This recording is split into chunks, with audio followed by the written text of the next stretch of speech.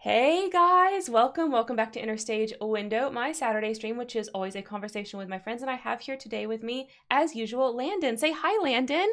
Hi, Landon. You can call me Cassie today. I feel Oh very. Cassie like. Oh, oh, I love that you have an affinity for Cassie. And yes, what I is it that we're going to talk about today, Landon? We're going to talk about the hottest show on HBO right now Game of Thrones. Step to the side. It's Euphoria. yes, we're going to talk about Euphoria. So, a couple of things before we get started. Um, we are focused on season one during this stream. Next stream, we're going to be talking more about Euphoria because guess what? There's more than two hours of stuff to say about Euphoria. That is how like impactful it is. However, we will be touching on season two, and like for example, when we do our plot summary, the plot summary is going to cover both seasons. Um, so this is also a note to YouTube viewers who are watching after the fact. You can use the timestamps below to skip ahead if you really want to get to the meat. Since this is a stream, I recommend skipping to the why high school section. That'll get you past the the favorite things and the hellos and the plot summary and all that streamer stuff. Um, but let's actually let me switch over so you guys can see, so you guys can see the PowerPoint. Here we go. There we go. Euphoria. Look Euphoria. Part One. Um, yes, I also wanted to mention that uh, our deep dives when we start doing characters will also include season two spoilers. So Mhm, mhm. that takes us to our content warning. Uh, Enter Stage Window is not a spoiler-free stream. This, this stream right here, right now, will contain spoilers for both season one and season two of Euphoria. So if you haven't watched season two, you're living under a rock, you don't want to be spoiled, get on that and then come back and watch the VOD. hmm Yep. Also, Euphoria contains underage drinking, drug use, sex, all kinds of violent and horny things. And, and we're going to be discussing them, okay? We're going to not Yeah. only be discussing that, we're going to be discussing toxic relationships, uh, issues of self identification, societal expectations. There's going to be, you know, LGBTQ stuff that comes up. I mean, it's literally everything that you can think of that might get content warning for it's in euphoria i think like the only thing euphoria doesn't tackle is maybe like eating mm. disorders that's it. Everything else like it's there. So like content warnings all dead dove do not eat okay? We told you now you know Euphoria feels like the kitchen. Have you ever heard of the term like kitchen sink? yeah soup? yeah yeah Mhm. It's the kitchen sink soup of horny TV shows. yes That's what Euphoria is. It has literally everything. literally everything literally like it's it's dead dove do not eat the tv show i mean if you think game of thrones is dead dove no euphoria is dead dove okay like that's what it is That that's what it is uh, but before we get started, let us do what we do every single stream. Talk about our favorite things. So, Karen, what's your favorite thing about Euphoria? Okay, my favorite thing about Euphoria is the same thing that captured like a Euphoria fandom when the season one first came out, and that is the fashion. So, this is so early 2000s, right? Like everything in Euphoria is giving me like 2001 to 2005 vibes. It's so over the top, it's so sparkly, it's so extra, and it's like, you know, everyone shows their belly, um, you know, everyone dyes their hair, everyone shops at Hot Topic before Hot Topic became fandom. And I just I just freaking love it. Okay? I just freaking love it. Everyone single character in this show except for Rue dresses like the cool quirky girl at your school. Okay? They all do it and it's all great and I'm here for it. I'm here for the clothes, the makeup, the hair, all of it. Okay? It's my dream. I love it. It is. I okay. So, someone who loves a good bold eye. Uh, I was so happy when Euphoria came out because I was just like, the bright makeup is back. We like went a little neutral for a few years, and I stayed with the hot pinks, and now we're back. Mhm. Um, and I also do believe the show single-handedly brought Y2K fashion back. Oh my god, I agree. I agree. Like if it didn't bring it back, it like happened to hop on the trend at the same time that all the zoomers were like, "Oh, I wish I lived in 1999." You know. See, here's like I don't think any like any like Gen Zers were watching Euphoria because we'll talk about this. Euphoria is not for them.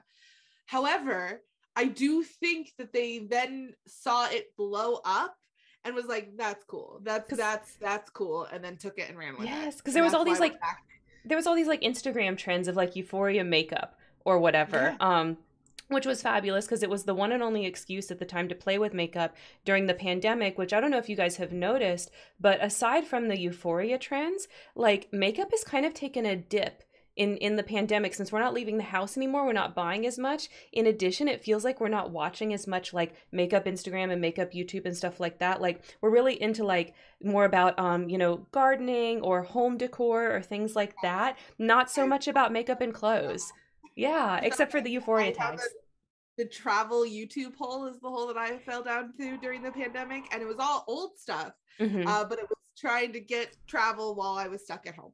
yes, Kitty, welcome, welcome. But there was not new travel content, right? Like I definitely noticed that. I just had well, to kind of rewatch. Like van life, there was like van life stuff. Mm-hmm. The, the, the DIY buy a van, turn it into a house, and go camping in the middle of nowhere blew up trend during this yeah. pandemic but that like that was it that was the only traveling that was like new content everything else was like rewatching old content yeah i agree so that was my favorite part of euphoria and i just have to say like in addition to this um something that uh, that we'll, we'll probably talk about here and there but a lot of other um, people that have talked about Euphoria have focused on it, so we're not going to focus on it too much. Which is like the absolutely amazing, mind blowing cinematography, lighting, everything, sound design of this show. Like it is like it is like so um overwhelming to the senses and so i just have to say that like i was so enthralled visually with this show and this the fashion is like kind of where that that took me but um to the point that when i watched the first couple of episodes because i because as y'all know landon builds the powerpoints for these which means i take a bunch of notes so that she can see them and see my thoughts kind of before we get into that and she looked at my doc for the first like three episodes and there was barely any notes and she was like worried that i didn't like the show. And i was like no no no no no. I am just so like visually overwhelmed that i can't write while i'm watching it I, I, I was very concerned because I was like, it's two seasons, and if you don't like it, we will find something else. I also don't want to tear the show apart because I really like it. Yeah, and now we do have criticisms, of course. I mean, y'all know how it is. We do have criticisms, of course. I don't. I, I I have some. I have thoughts on the show, but overall, like overall, it's a good show, you guys. There's a reason it got popular. You know what I'm I saying? I just put you through Hamilton. I didn't want to have to put you through that again. I'm a kind friend, okay? Thank you. Uh, I did find things I liked about Hamilton, you know. You definitely, we definitely compromised on that one. Yeah. No, and, I, and just to hit on the cinema, cinematography, because we don't have a specific thing there. One of my favorite things about this show is that it really does feel like it's being told through Rue's eyes depending on where she is in her sobriety. So like the cinematography, the color, how much color there is, how much is going on really falls through with how much stimulants she is on. Uh, mm-hmm. Uh, that's something that is really connected and really like thoughtful of the showmakers, especially in season one. Yeah, I think it. De- you can definitely see it in season one for sure, and it's in the visual part of the storytelling. So just to be clear, because we're going to talk about the story, story like the writing of it later, um, probably next next week. But um, but uh, yeah, we're talking in the visual part of the story. That is absolutely the case. All right, so that's my favorite thing. What's your favorite thing, Landon? Oh my God. So this made me laugh so hard. And it just was this, it was a beautiful, true, what felt true to life moment, which was kind of hard to find in Euphoria a little bit. incredibly, incredibly cleverly written, well acted, and beautifully delivered was Rue's dick pic speech. Uh, she runs an entire seminar on how to correct and judge a dick pic. And when I say that I've had these conversations with my friends, I've had these conversations with my friends. and, and I've heard some of this criticism before. And it's just, it was just such a funny, lighthearted, fucking funny scene that really let us see this character, but also let us see the humor and appreciate what was happening with this show. And also, when is the last time on a major show that we have seen men be completely basically judged by their parts uh, in such a way that it doesn't feel like it's a man doing it because they want to make it feel equal. Like this definitely made it feel like, hey, this the point of this is not to sexualize them, it's to humiliate them. And I loved it there is overall so much dick in this show, you guys. Like so much dick. If you like to see dick, this Euphoria, just like like even if you don't like the other parts of Euphoria, I promise you there is so much dick in there that you will be entertained, thoroughly entertained. As someone who like is very, you know, on the lesbian side of everything, there's a lot of dick, but also you're really used to it, and it just becomes part of the background. I mean, I mean, honestly, like if I think about like the scenes that really visually arrested me so hard, it was the dick scenes. Like it's the locker room scene that where Nate's talking about how he feels about seeing other guys' junk. It's the um the scene that Kat has where like all of the the men um you know the Dothraki or whatever. I, I think they're supposed to be Dothraki. Um but they can't they can't say that they are of course. But they're they're like running at her, you know, all enthralled by her and there's just like there's just like so much. There's just like and this was one of the funniest scenes. Like the show has these random kind of asides which, you know, it there's stuff to say about that that uh, I'm not sure. I'm not sure kind of overall why they're in the show. However, I really appreciate them when they happen because they're freaking hilarious, and this is a great example of one of those. There again, insights into Rue. Like it, it makes it obvious in season one that Rue is the storyteller because these things happen. This particular one happened because Rue was manic. Mm-hmm. She was manic before she crashed. So she was very much up, up, up, and like, let's do a weird thing and take the entire audience aside and give them a five minute lecture on how to take a dick pic. Yeah. Uh, and and it's great because it's in the it's in the context of um you know dick pics that uh that Jules is getting from from this guy and uh and Rue's trying to like figure out like if this is a guy worth pursuing or whatever and they don't really know much about him except for these dick pics so yeah, no, it was fantastic. It was mm-hmm. fantastic. Uh, so and then good. I stole, and then also here's the other thing is I stole this bit uh for a D&D game that Karen and I play and our DM gave me inspiration for it. Mm-hmm. So it was great. That's another why I love this part. I got to steal the joke and get inspiration for it. and it was hilarious when you did it. It really was. So all right, but shall we go on to the meat of the subject? Yes. Okay. So now, as we like to do, we're going to do a plot summary. Um, as usual with TV shows, this is kind of a challenge because in a TV show with with a ensemble esque cast, it's hard to do. But Landon's going to do her best to take us through the major events of season one and season two. So that being said, take it away, Landon. The audience is transported to a modern day suburban school outside of Los Angeles County where we find the story of Rue, a 16 year old drug addict who has just been released from rehab, but sobriety is not part of the plan. Rue makes it very clear from the beginning that she has no intention of ever being sober again. That is, until Jules, walk- Jules walks into her life. Jules is a 16 year old transfer student, and she is suffering from her own baggage, including a relationship with her femininity as a post top surgery trans woman and a mother who is absent due to addiction as well.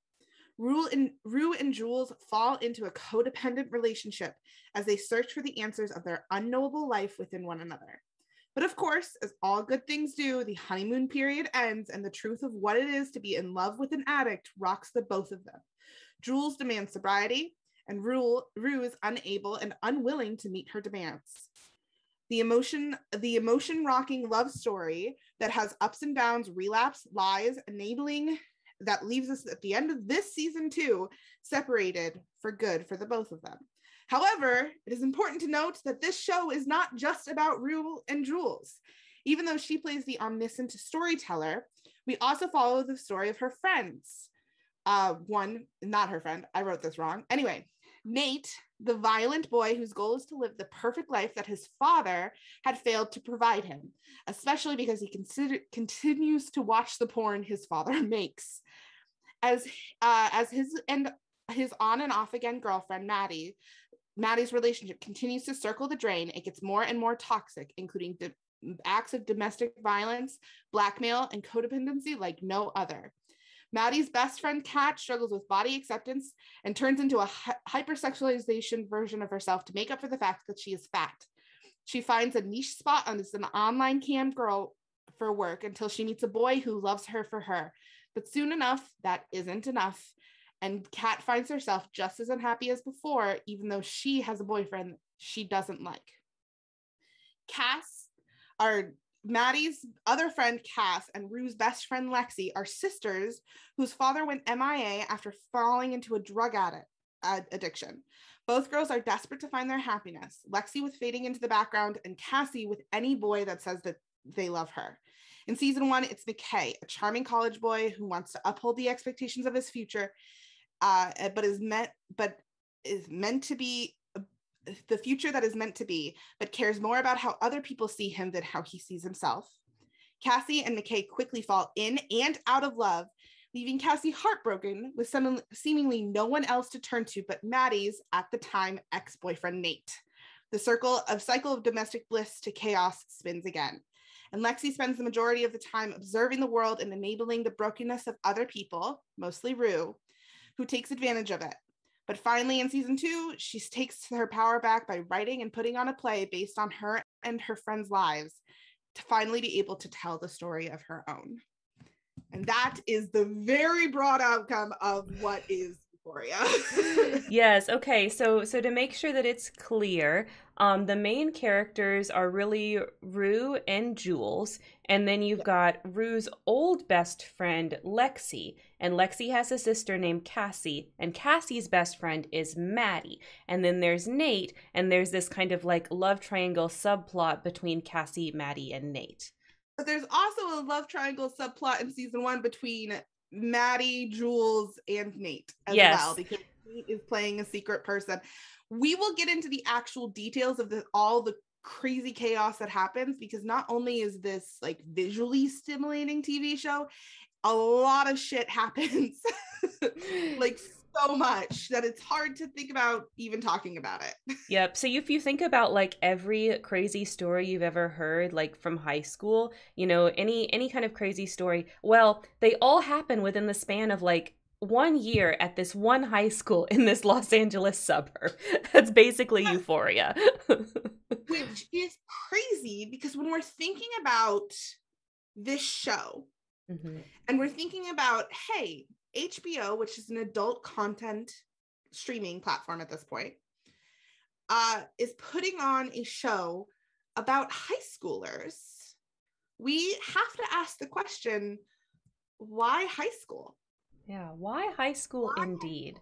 Why high school? Uh, and that's something that we kind of want to dig into because I think it it it led to some confusion mm-hmm. within fans and also within the media of like romanticizing underage chaos like this but there's also a de- like a deliberate choice by the showrunners to do this because like we said before this show was not meant for gen zers who are the high schoolers right now to watch this yeah. isn't for them so but it is about them so a couple of things with this that i want to make sure is clear um, this show is for adults, okay? It is not for under 18 people, right? So, so older Gen Zers are going to be old enough to be watching this show, but if you're underage, highly recommend not to watch this show. If you're easily triggered, highly recommend not to watch this show, right? It's just not like that. So, a lot of the discourse online, especially on Twitter,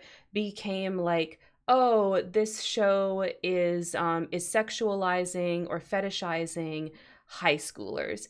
And I don't think that's what the show is doing. So we're going to talk about why is this high school? And I want to say, welcome in Blue Island, broaden the demographic. I don't know. I mean, Zendaya even tweeted herself she's a star as a star of the show and she even tweeted like, "Kids don't watch." so, yeah. you know. this season mostly because children were watching i mean she's a disney she was a disney star so her fandom grew up with her and when she got into into this mm-hmm. uh her fandom was kind of still too young to be watching it and they all did watch it and then their parents threw a fucking fit mm-hmm they told um, kids not to watch Degrassi. Degrassi's way tame compared to Euphoria. But yeah, so the first the oh first reason the first reason that we have about why high school is because um it's a heightened sense of emotion. So, as somebody that is older now, right? I'm 35, and I think back to my high school time, which was the early 2000s, you know, exactly the fashion that they've got in this show. So, you know, this was made by a 30 something about their childhood experience. I am a 30 something watching it, remembering my childhood experience, I can confidently say that it captures the emotion of what it's like in high school. Because if you think about how you felt at that time, um, everything was so heightened, right? Like when you're that age, you think everything is so important. You know, it's all about like, um, it's all about like oh these things are going to affect me forever these decisions are like going to affect me forever and everything feels like so raw and real you know? When you're in high school you've typically just gone through like the beginnings of puberty and you are in your like inc- most incredibly pubescent part of your life where everything is about figuring yourself out. Everything is about, you know, who you're friends with. Everything is about who you're hooking up with, you know, and everything feels so much more. So, how do you make an adult feel like they did in high school? You gotta ramp it up because if you had real high school drama, I'm watching, I would be watching this and be like, y'all, this is stupid. Because if I look back to the things I thought were important when I was 15, y'all, that shit was stupid. you know? Yeah, I mean, Blue On makes a good point as far as like it being like we were worried about our grades, but at that point in time, grades were everything, mm-hmm. right?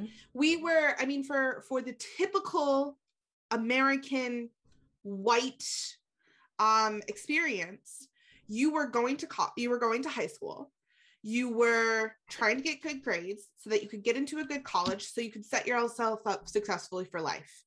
That is what society was pushing us to do, mm-hmm. which meant that every grade mattered, which means every test mattered, which meant every relationship mattered. We started making adult decisions in high schools, whether we realized them or not, they certainly felt like adult decisions. Uh, and we were basically told that right now you is the stepping stones of your future for the rest of your life. These are the decisions that matter. And then also being told at the same time that like we're just kids so there's a level of angst there of being like, we're making important adult decisions that we're being told are important adult decisions, but they're also being undermined as as just us being kids. So like which one is it? And that that ups the level of angst that we all naturally felt at that age. And that was the underline of like what society was telling us. It's not even the personal issues we were going through. That's not even the trauma that our families were putting us through. That's nothing. that's just literally existing at that age.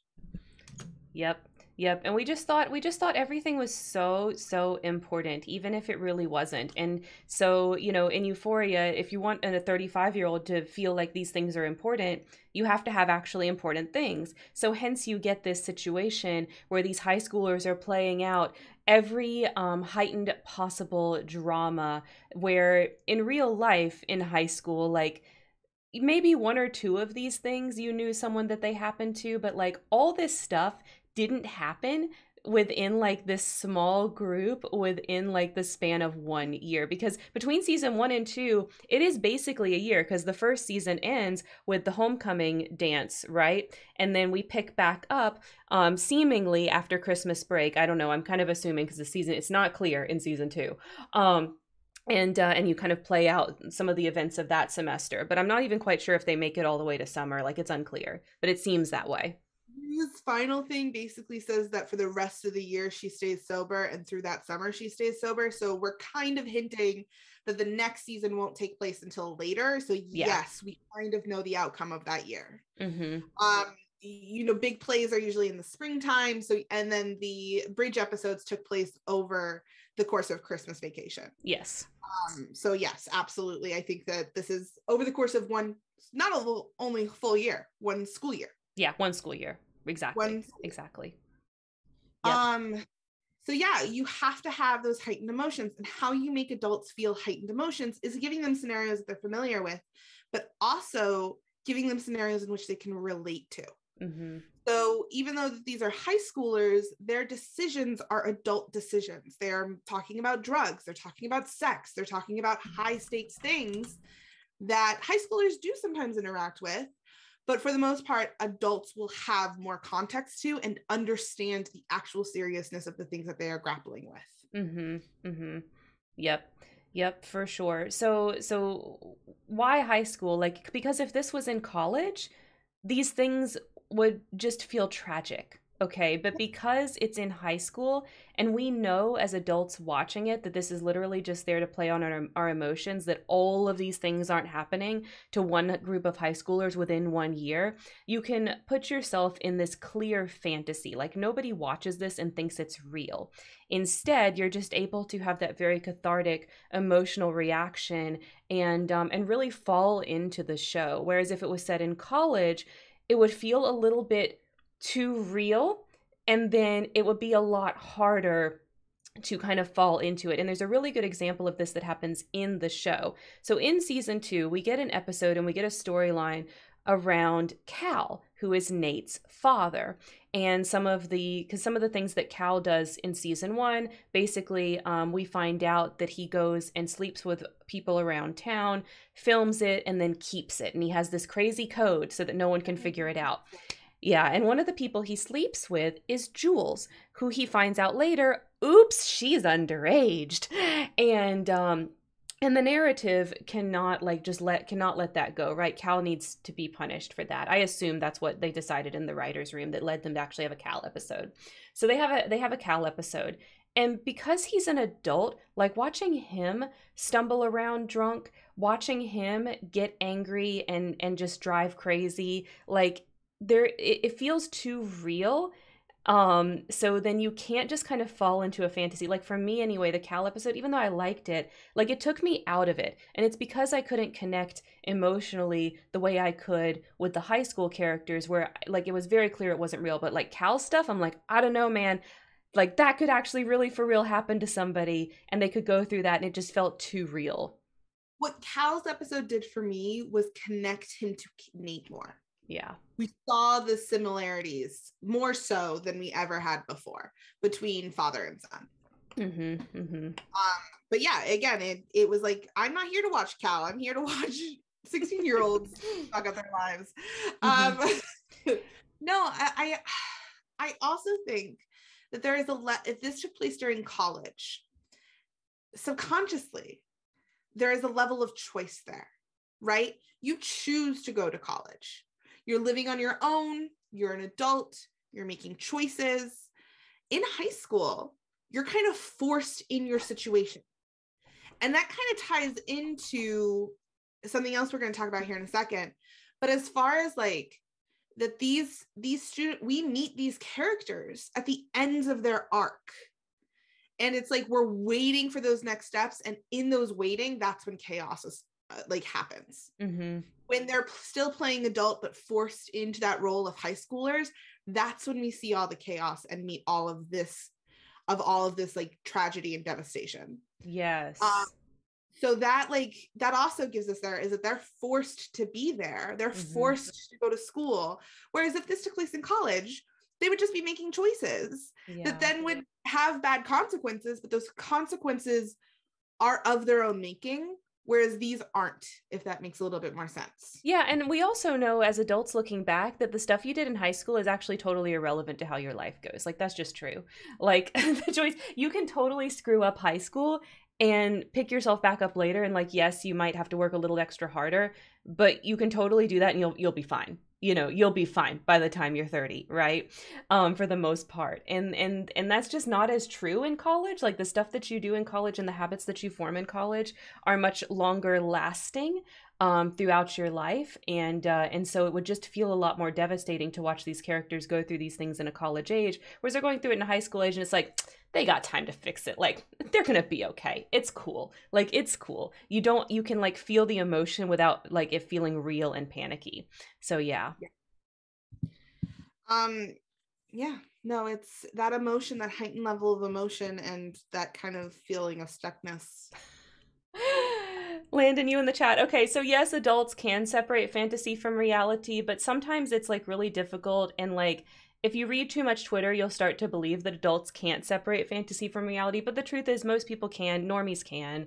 Like, also like the the goal of a showrunner or a writer or a creative is to make it so it's harder to separate it. Because remember that art is supposed to inspire feelings. Yeah. Feelings keep more connected. So what a showrunner is trying to do in a show like Euphoria is connect you to what is happening on stage or mm-hmm. on screen how they do that is they make it feel emotional and real. Your yeah. brain cannot tell, it can't tell the difference of what is happening to you physically and like actually happening to you and what you are feeling is happening to you. Mm-hmm. Same reactions regardless. So, absolutely, on a logical level, adults can separate what is happening in real life versus what is happening on a, a screen or in a book or a TV show or a movie, but physiologically and like hormonally, your brain and body cannot tell the difference. Yeah. And that is true. something that is crazy. And that is why people get super invested into the shows that they like. Mm-hmm. And that's why, Um, especially you see, that's why, especially you see people that are Yeah. in that kind of like early 20s stage seem to have a lot of trouble separating it. That level of like, you can still be viscerally upset about something that is happening, even if you know it is not real. Yeah. if you've ever walked away from a TV show because you've cried or that you're upset or you're like, man, I really need to find out what happens next, that is because your body is reacting to the Mhm. emotional process that you just went through.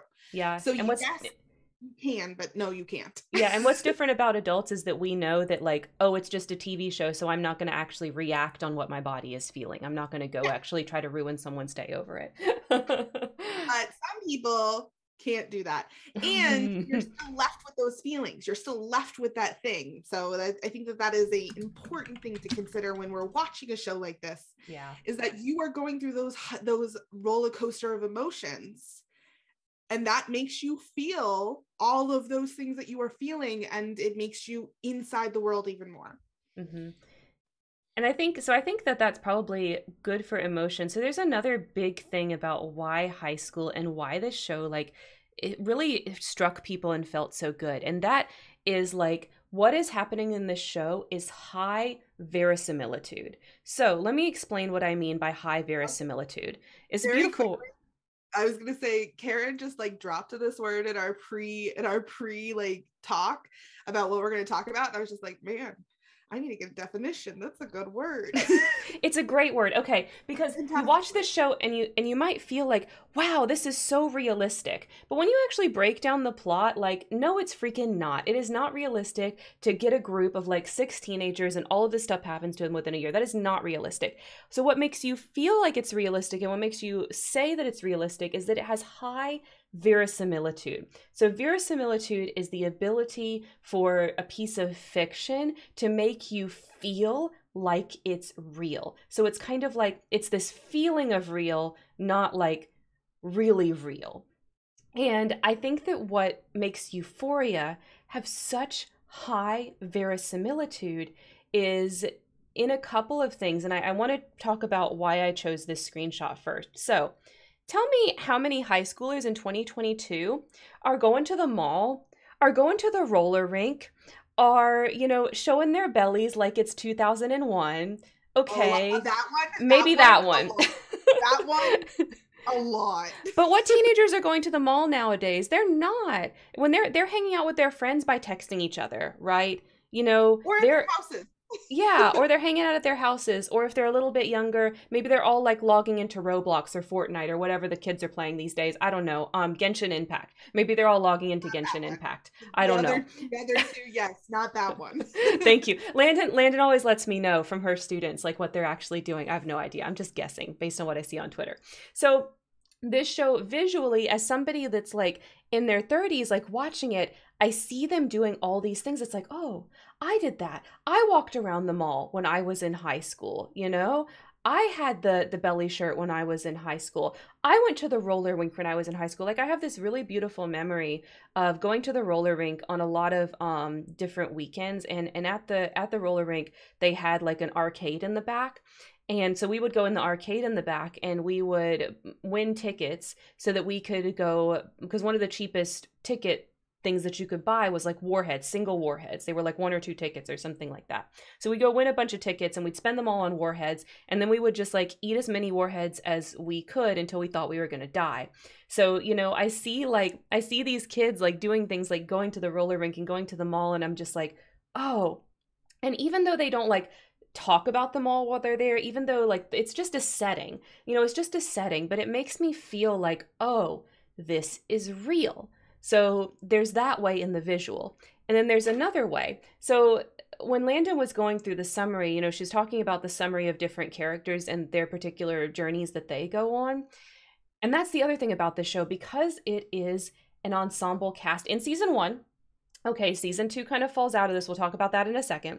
But in season one, a lot of the characters go through different things, right? So, no matter what your high school experience was like, what your issue was like, there's some character that you have gone through the same bullshit they have gone through and you can relate to that. So like maybe you relate to like um Maddie's issues with uh with the way that she stays with with Nate even though um he chokes her in in in uh, in season 1. Maybe you relate to like um Cassie, who basically just tries to get what she wants through like looking really cute because she got boobs real fast, right? She's like gigantic boobs. And in high school, that's like a currency, right? Maybe you relate to Kat becoming hypersexual when she realizes that there is a group of people out there who value fatness in a sexual way and she can utilize that to make herself feel powerful, you know?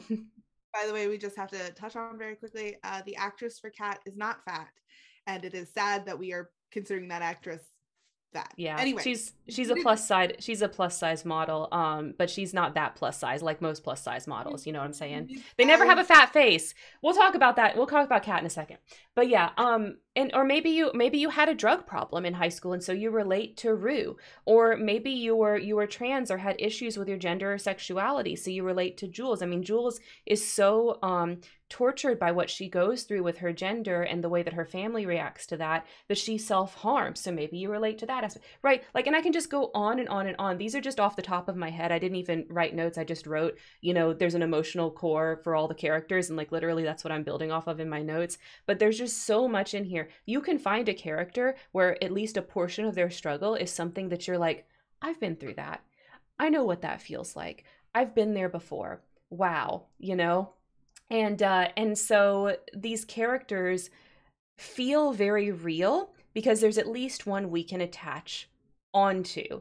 Now, that being said, the other thing that gives this great verisimilitude is actually something that I think is detrimental to the writing, there's really no change in a lot of these characters. Who they are at the beginning is kind of who they still are at the end of season two. You know what I'm saying? Like the only character that really has an arc is Kat. Like she really is in a different spot at the beginning of season one versus the end of season one. And then unfortunately her character kind of falls by the wayside in season two. Um, but uh, but most of the others don't have any development. Exactly, um, Blue. They don't have any development, which gives it really high verisimilitude because these characters are really they're really like caricatures like cartoons of real people but that's what you want in a character. Like in a character you want the illusion of complexity not the actual complexity that real people have right?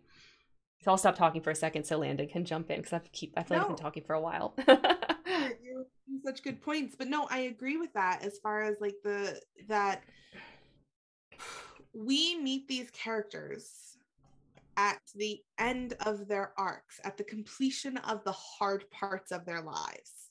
Rue's father died. She fell into a drug addiction. She went to rehab. We meet her after rehab. That is the ending of that story. That is how that story is supposed to end. And that's where we meet her. Maddie fell in and out with Nate, and we kind of meet her in that same cycle. But again, that her her parents are separated that uh, she's been through a lot of shit and she has found her prince charming. That's where we meet her. We meet cassie at the be- at the beginning of her love story but where we meet her her and mckay are happy and falling in love and that is all that she's ever wanted. Um, and we meet Kat after having like basically already reached success as a writer and had adoring fans and was incredibly happy with who she was Jules has already gone through transition and has been accept and accepted herself and who she was. And yes, she self-harmed, but she is now better and things are good. Like we meet these characters at their outcomes. Mm-hmm. And yeah, because we only see Jules self-harm once and then she really doesn't do it again. Um, so we see like the last time that she did, basically. That's the start of her character. Yes. And we meet them at the end of all of their growth. And we get their stories through flashbacks, which is a very interesting way of storytelling. But what they are then put through is just a cycle of continuation of what's already happened. Um, Rue and we'll deep dive all of these, but you know, Rue Rue continues her struggle with sobriety uh, and and lying about addiction. That's a cycle. Nate mm-hmm. and Maddie continue their cycle of, of a relationship. Cassie continues her cycle of, of finding codependency in anyone, whether it be any friend or any person. Um, you, you know, uh, Kat is never happy no matter what successful landmark or benchmark that she's put for herself. As soon as she's reached it, she's not happy with it. Mm-hmm. Like we see we see them fall into the cycles and continue to stay there. No one ever breaks free of that cycle in either season. Um, and that's something that is kind of frustrating that when you continue on, you're like, man, we've seen all the growth in the past. We didn't even get to witness it. Yep. Um, but that also gives a level of invincibility to the characters. They, by default, are high schoolers. So high schoolers already have a sense like we all remember that point in time in our lives where we still had the child like nothing can kill us but we're also making adult decisions that could kill us. Um, sort of attitude that we approached with life during that time. And all of these characters have had situations in which they have had to survive from. So they have all survived and feel invincible from that survival. So they're taking that into their next choices and again making decisions that could and will eventually kill them. Mm-hmm. So that is something that's also connected to like the age of high school yeah, I think so. And it, this is especially seen in Rue, but the reason why I chose um, a shot of Cassie for invincibility because I think that there there is this invincibility of youth is like true in the show, but I'm not sure how much it was like planned for that to be there versus it just kind of happening because here's like an example of where the invincibility of youth comes in that's actually I think a good example of like bad writing. So in season 1, the way that Cassie ends her her story in that season is that she gets pregnant, she tells McKay, that's her boyfriend at the time, that she wants to that she wants to keep the baby, but she's kind of like haha joking about it, like testing the waters to see if he's interested. And McKay is not interested. Okay, he does not want to keep the baby, that he doesn't want to be involved. Like he's not really, you know, he's not really there for that. So um, that results in Cassie going and having an abortion. We come back from season two.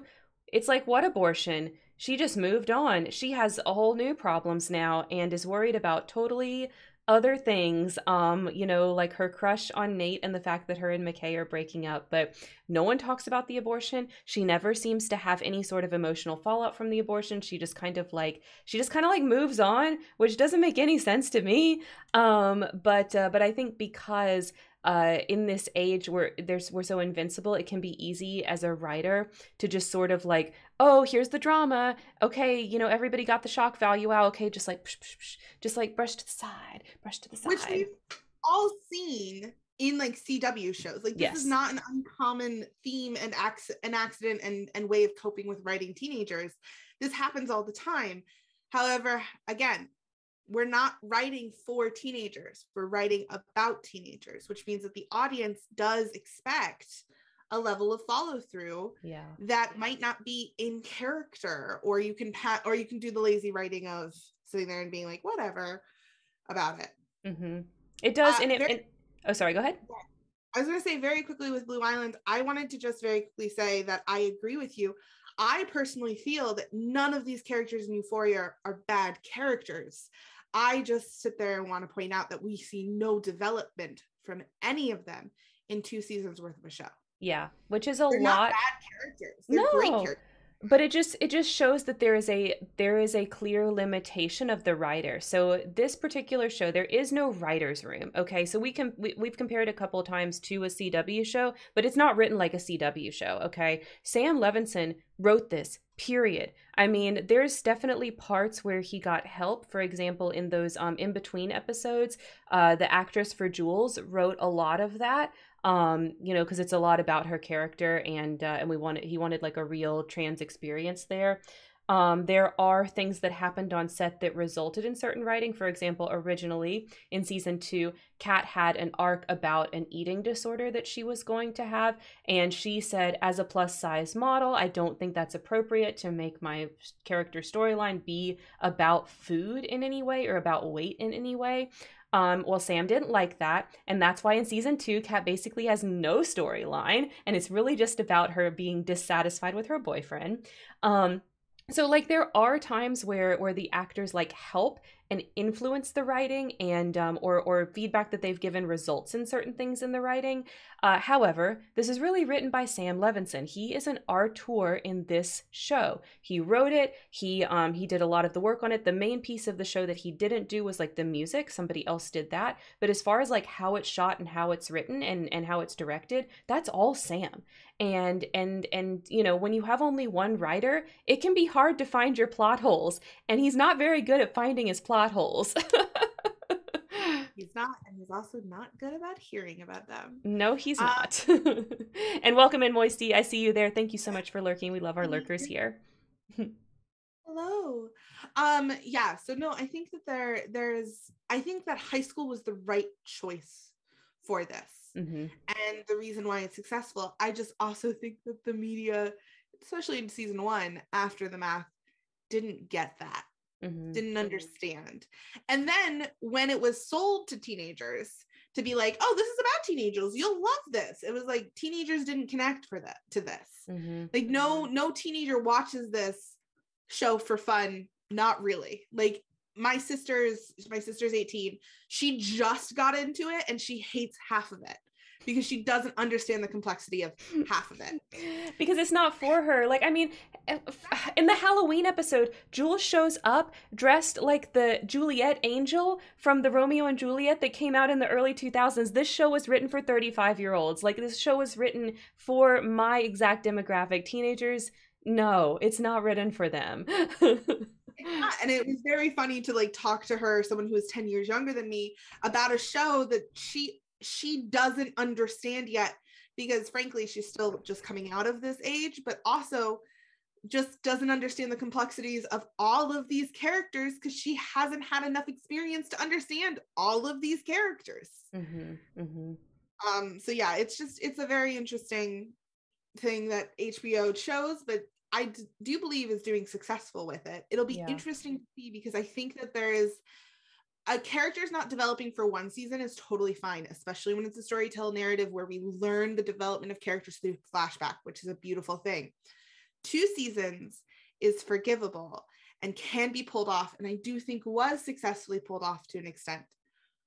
I don't think it can happen this way in a third season. Yeah, no, I totally agree. If you go on YouTube, you'll see like tons of like video essays and things like that about how terrible season two is. Well, we're going to talk about that next episode about why season two is terrible. But spoilers the reason season two is terrible all exist in season one. Okay, that's your spoiler. Come back next week to hear more details about that. Season two is Terrible. That's all. Unless you also think season one is terrible, right? Because they both have the same problems. In fact, I liked season two more, but we'll get back to that later. all right, all right. Okay, so why high school? We've answered that. all right, we need an ad break. Okay. Uh, thank you thank you to our sponsor here on Enter Stage Window is Audible. We love books. Uh, we dissect books as well as movies and TV shows here on Enter Stage Window. So I also just love to read. Uh, I have no life. So uh, I have a suggestion for you this week, and that is if you like mystery and unknowing and confusion and age and youth and toxic codependent friendships then man, I have a book for you. It is called We Were Liars by E.G. Lockhart. Uh, and you can go ahead and look at that on audibletrial.com slash enter stage window. It is available. It's a short little vignette. It's about a young girl whose uh, family has an island off the coast of Massachusetts, and uh, they visit it every year. And something happened one year that after an accident that she doesn't remember what it is, and nobody in her family will tell her anything about it. So she must go to her friends and other family members to discover what happened to that mysterious summer that she cannot remember and what and who are the liars within her life. Uh, so 100% would recommend that. Again, check it out at audibletrial.com slash enter stage window. Yes. All right. Audibletrial.com slash enter stage slash enter stage window. That is where you can go to start your 30 day free trial And we do get a kickback from that. And I'm pretty sure that happens as soon as you start your trial. You don't actually have to pay for your first month. So little little sneak sneaky thing you can do there. Get a free okay. book. That's a fun deal. Yes. Okay. So when it comes to season one of Euphoria, as I was watching it, I felt like there was kind of this thesis question that Sam Levinson was attempting to answer. And that is what makes you worthy? Every single character in this show goes through some kind of situation where they are questioning their own self worth and they're doing it through various lenses. Um, season two doesn't have this so much. We'll talk about that next week. But for season one, you absolutely do get this ensemble cast where every character is trying to find their worth. Um, and of course they are, because it's set in high school. And that's what everyone is doing in high school. They're experimenting with their identity, they're experimenting with what they think is important in their life, and they're looking for what makes them worthy. So we're going to talk about a few different things where um we have different situations where characters think like oh this thing might make me worthy or that thing might make me worthy. So we're going to talk about these conceptually and um, we are going to talk about also which character or characters sometimes it's kind of multiple but usually it's kind of like one main character that exemplifies that that thing. So um so yeah that's what we're going to go into is what makes you worthy? I think season one is attempting to answer this question. I agree. It is the thesis of this season yeah. Um, and so of course I think we should start right off the bat with the obvious one, which is the one that kind of punches you in the face, and that's sobriety. Mm-hmm. Yes. Oh um, my gosh. Rue is a drug addict. She started doing drugs after her father, or actually when her father gets sick uh, with cancer. She starts taking his pain medication and continues to do it through his uh, death and funeral, and therefore after, and continues to do it for about a year until she goes to uh, rehab and then continues to do off and on after rehab. Mm-hmm. Um, and sobriety is where she is written to be her best. Um, that as the audience, we are watching someone struggle with addiction in a way that I don't think has really been portrayed mainstream and the, on an as popular platform in a as empathetic way as Euphoria does it. But the thesis of this still is that you are more worthy when you are sober. Um, because that is the thing that everyone wants Rue to be, and that is the thing that she even wants to be, either she doesn't know it herself. Yes. So um, so Oreo wants to be sober. he probably wants right back out, but he was scratching at the door. All right. So so yeah, when it comes to Rue, she she is born with some sort of mental illness that we do not necessarily figure out what it is. Um yeah. it's hinted. It's hinted because at one point she googles like how do you know if you're bipolar? But anyway the point is is that she never gets a diagnosis. So while her father when her father contracts cancer and is kind of living out the end of his life he's in kind of a situation where he's going through chemo um the his prognosis isn't very good. And so he's on a lot of pain medication to keep himself comfortable and regular and all of those things right and so what Rue does is she starts taking his pills because like he's too sick and high to tell that she's high too. And so she basically does drugs with him whereas, you know, for him it's approved because he's freaking dying. For her not so much. And she is she's I mean this isn't an excuse for it um but she is thrown into the ro- role of caretaker. Her mother mm-hmm. is at work, her sister is too young. She is the person responsible for her father's care while her mother is at work. Um, so there is that level of being like, hey, I'm taking care of my dad who's dying and he doesn't even know that I'm here. Le- like it's almost sold as a bonding experience at one point. Like yeah. we see them both high. uh, and Rue's almost taking it that way of a bonding experience. I think that that is for the benefit of Rue's reasonings for it rather than the audience being sold that. Mm-hmm. Um, but it certainly is something to take into consideration with all of this. Yeah, but it seemed pretty clear to me that the whole reason that she did that is because she is not being treated for her what we assume is bipolar disorder. Like she's still not diagnosed at this point in the show, so we have no proof, but the writing hints strongly at that she is bipolar. Strongly bipolar disorder, uh, per, uh, bipolar disorder, and then also if you if you have a a um personality a, like bipolar or a mental illness such as this the likelihood of you being an addict is exponentially larger mm-hmm. um it is that that sort of like lack of dopamine receptor is all of a sudden turned on which is what when people have bipolar what they're kind of lacking uh, or what their brain is not able to always function on its own for so all of a sudden that is fulfilled in a way that is like oh I actually feel like a normal person when I am on drugs. Mm-hmm. um, why drugs work, um, but also why addictive drugs is even more addictive for people who do not have uh, the the brain functioning of a normal quote unquote person. Right, which is why if you're going to use drugs to treat your illness, please do so under the guidance of a doctor. which Rue obviously does not. Um well, so so Rue, Rue has all of yeah. But Rue has all of these experiences where where she becomes an addict and you've got other characters around her doing drugs without becoming an addict. So the show does acknowledge that like it's not the drugs, it's the special combination of Rue and her what she's been through with her father dying and how how devastating that was for her, plus her mental illness kind of all coming together to make it so that she cannot do these drugs safely. She can't. She can't just do them for fun on the weekends. Like that's not something which, has can do.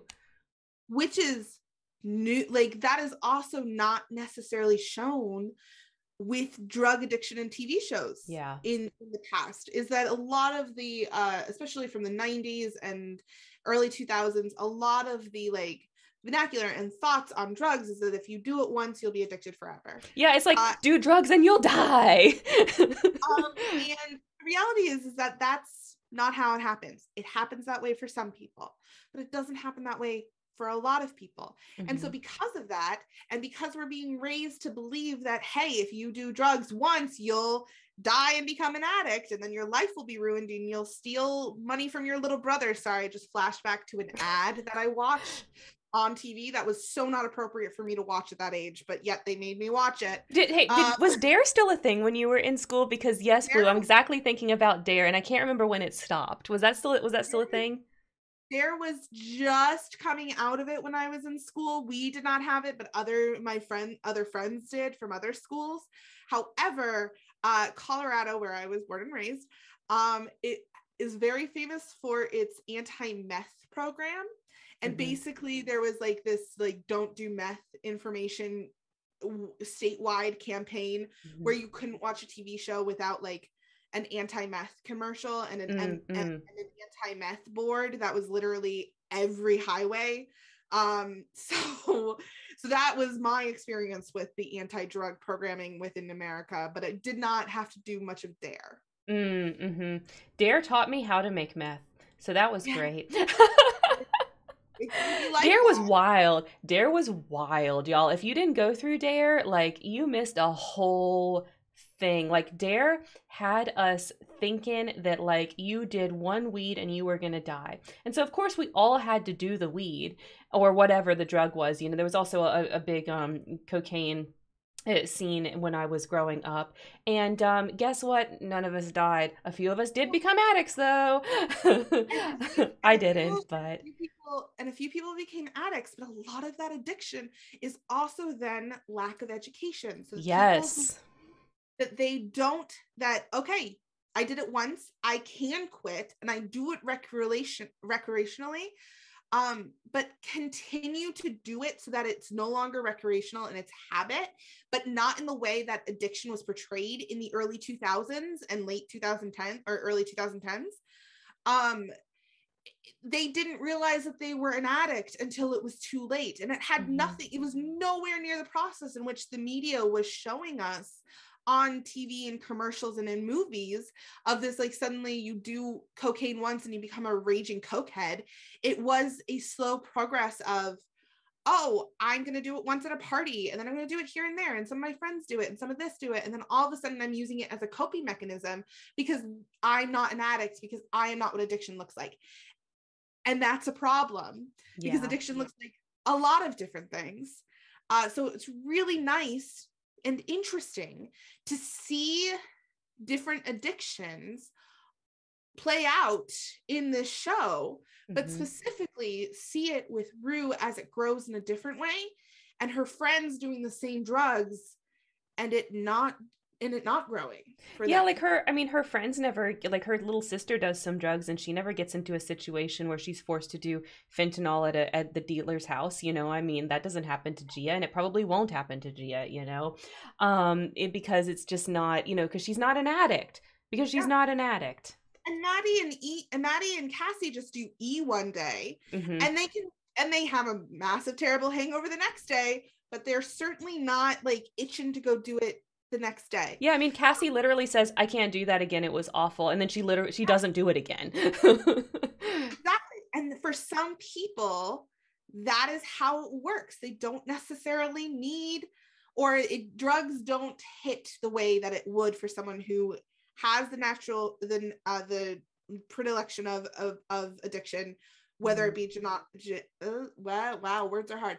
Whether it be genetically or trauma based Mhm. which for Rue, it's Um, both. She gets a double whammy. yeah. Um and and for other and i can probably argue for other people in the show it's probably both too. There's probably a reason why we never see nate do any hard drugs uh and that's because man that's a cokehead waiting to happen um I could not imagine Nate doing hard drugs. Like he would be awful. He would be off. you- By the way, Landon, I have to tell you, we did our, per- you know, we do the personality quizzes at the beginning of the Thursday stream. So I did a which Euphoria character are you? Guess who I got? did you get who did you get I got Nate. I was like, I think the quiz was messed up, but I got Nate. Yeah. yeah, I think this person like had a soft spot for Nate or something. But yeah, when it comes when it comes to um to the way that it's portrayed in Euphoria, like and and Rue is one of the characters that um I had a lot of trouble like understanding how she was written, and I'll have to tell you guys that um I don't think Zendaya is that great of an actress. Sometimes she has like really awesome scenes, like the dick pic scene. I think is great. I think when she's going around and um and she's like she's like the the detective, like the old timey detective in that little that part of the little fantasy, like that's good. When she's when she's running from the cops, I think she does a good job in that scene, even though it lasts like way too long, right? But when she's just like ru- walking around like i don't know she's just she's just not very interesting to look at and this doesn't happen just in euphoria. The same thing happens for me for her character in spider-man. I don't i don't like the new mj i think she's like a really negative nancy and um and so you know i'm not a huge zendaya fan um however people that criticize like that rue herself as a character is not realistic I don't think that's true. She is very realistic. Like the reason why you're frustrated with Rue, like that's what it's like dealing with an addict. It's very, very frustrating where they constantly cycle and go back. I think that that is the thing that people don't understand either because they do not have experience with addicts or they have too much experience with addicts Maybe too and much. maybe Yeah. in codependent relationships with addicts that they are not willing to see. And Rue kind of shines a light on that. Um, I think the show does a good job of trying to get the audience to love Rue at every aspect of her sobriety, even though it does per- does push the narrative of she is more worthy when sober. Mhm. Um, because and and like it's hard because it's hard to not want to like to portray what addiction is from the perspective of the person who is being hurt by the addict while also portraying the addict in a way that is loving and kind Yeah. um, and that won't get the audience to turn against her and won't demonize her, especially because addiction is already demonized within our society and media. And So, Rue like- even demonizes it herself. Like she catches Yeah. Gia doing some drugs and she has to go confront the guy that was doing it with her um, because she's scared that Gia might become an addict too, even though like we see no evidence that that Gia is at risk for that. But I mean we don't know. We don't really get to know Gia very much during the first two seasons, to be honest. Like maybe she is at risk, like who knows. Um, but uh, but we know that we know that Rue values sobriety because even though she can't achieve it herself, she expects it out of others. Like she's very uncomfortable at the Halloween party when Jules decides she wants to get totally shit faced. Like Rue does not like that. She doesn't want to hang out with drunk Jules, you know? She doesn't want that. She she has this kind of longing to rekindle her friendship with Lexi. Um, Lexi's kind of like her straight edge sober friend, right? Who they used to be really good friends with her when they were little before she started doing drugs. Um, and and she constantly has this desire to like rekindle and, and keep alive that friendship with Lexi, even though like Lexi is has moved on, you know. Lexi's over it. She's not. Not really. She's not. I, I disagree with that. She enables it for most of the first season. She does, she does, but she's not like actively pursuing a friendship with Rue. She enables it when No Rue comes to her, right? By like the- Lexi's not, yeah, Lexi's not calling Rue. Lexi's just like can't tell Rue no when Rue shows up at her door. You know, that's the difference there. Lexi does call Rue because Rue reads the play before Lexi puts it on. Yeah, in season two, but not in season one. Yeah. In season one, it's all it's all like Rue at t- talking to Lexi for help. I think that we see we see one of the most beautiful scenes I think of this entire show uh is when Rue has been denied to go to rehab in season 2. Mm-hmm. Um she has already run away, she's gotten in a lot of trouble, she's stolen a lot of drugs. Um she's basically already she freaked out at her family because they basically uh Jules ratted her out and and said that she was on drugs and uh mom was demanding for her to get sober. Rue ran away, freaked out, all of that. And she's in bed with her mom after being denied uh, rehab. And her mom basically says, if you want to do drugs, you get to do them. Go ahead. I'm going to start focusing on your sister now because that is what your sister needs. Uh, and if I have the choice of losing one daughter or both, I'm going to save the daughter I can save. And it's up to you to save you. Uh, and I think that that really shows like the value of sobriety, of being the expectation of her being sober within that life. Um, but it also puts it in perspective of the people who have been close to addicts and the Mhm, level of you have to get to of acceptance to sit there and be like, I can't control if this person does drugs or not, but I can control protecting the people around them. Yep, it does. It does. It does feel really bad. It's a really sad scene. I know it kind of like hit me in the gut because I don't know. Like I watched that scene and I thought, like, yeah, I'd do the same shit her mom is doing. I'd make the same decision. Like that's the healthy decision in Mhm. terms of codependency, which you already have if you're a mother child, but you even have even more so when your kid is an addict. Um, and and when you've lost a lot like her mom has. Yeah. So it, it is that level of like, oh, you have to be able to let go and recognize that this person is human and know that they are worthy and worthy of love and a good character, no matter where they are in their sob- sobriety, just like Mhm. every person you meet. Uh, and I appreciate that this story is being told in this way. However, I still wish that there was a lack of like push for she has to be sober. Well, I just Like- think I, I just I just think that it's it's almost like Rue wants to be sober. So I think this is where we say like Sam Levinson is an auteur here. I I assume that he felt that way, like when he was going through the Yeah. the deep part of his drug addiction, that he just wanted so desperately to be sober. Um, but yeah, so so to go back to Rue's mom for just a second, um, I just I really connected with her in that scene. So this is not not something I've ever talked about on stream, but I do have um an addict in my life that's a very very similar situation to Rue. As a child, had an undiagnosed something wrong with their brain. I don't know what it is. Still, we still don't know. This person is a full on adult now and has been an addict since they were a teenager. And uh, you know, despite best efforts, they are still an addict and they don't seem to have any interest in actually not becoming an addict, but they do constantly have lucid moments where they think they're going to get sober. It never lasts. And um, and so I have literally been Rue's mom in that situation, and there is no other choice because you can't sacrifice yourself for that other person. Like you still have to go live your life. You know, it's not you're not helping the addict by circling your life around them. You're not.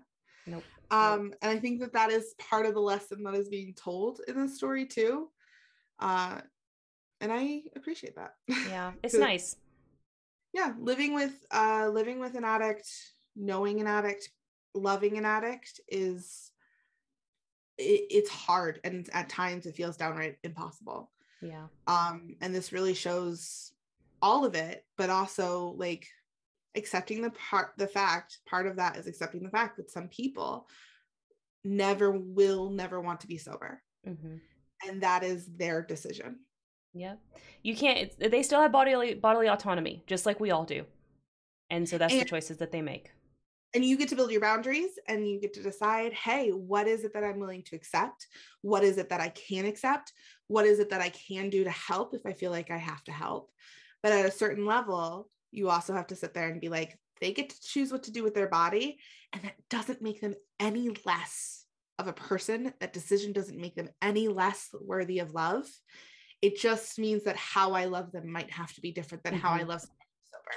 Yep. Yep. You might have to do it from a distance. That just might be have to be how it is. Yep. And um, that's something that I wish the show was able to explore a little bit more. Yeah, I think because that's one of the things that the high school setting holds it back from. Like we're not we're not looking at 25, 35 whatever year old Rue. You know, we're looking at 16-year-old Rue, right? Where she's still living with her mom, you know. Yep. So yeah, that's sobriety. What what makes you worthy? Definitely sobriety is one of the things that the show believes makes you worthy. Monogamy. So this is a show about high school which means there's all kinds of couples all kinds of cheating all kinds of all that stuff okay? All kinds. it's, it's so interesting how like a part of me believes that sam has to be polyamorous because of how much start of poly stuff there is and like undertone of like open communication and just like simply accepting another person and and the different levels of love and everything like that um but also is so wholeheartedly pushing monogamy with mm-hmm. every single character. You know, I have this uh, head canon too, and like I don't want to I don't want to project onto him. So like, you know, Sam, if you're ever watching this, Sam Levins is never gonna watch my fucking show, whatever. but like um i don't i don't like want to say that i'm projecting onto him but like when i watch this show there were certain things that i'm like we know sam has been an addict before like he's talked about that in interviews but there's other things in the show where i'm like hmm. And this is definitely one of them where i feel like sam is maybe a closeted polyamorous person because there's all these things in the show like okay the main like the otp of the show main couple first image we've got here right here above my head rue and jules this is in episode one fucking adorable shot right here. I had to include it. I freaking love it you know? Um by the way is also sorry i have to go on this thing. This is how they introduce the fact that that jules is trans. They don't say anything about it. It's never no, they just episode. Or they just show her. literally show her as she is and it's no big fucking deal for anybody. And that's beautiful. Anyway, sorry, I had to just go on a soapbox. I'm better now. Go ahead. it's nice, right? It's nice to see. So you've got so you've got this couple of of Rue and Jules, but because Rue is not really totally in touch with her own sexuality, they call each other best friends, but man, they ain't best friends. They're girlfriends, okay? Period. Um there is no there's no best friends about it. Like they hang out together constantly, they talk about deep stuff, they um they sleep together, you know, they cuddle, they do all the things, you know, they do all the things.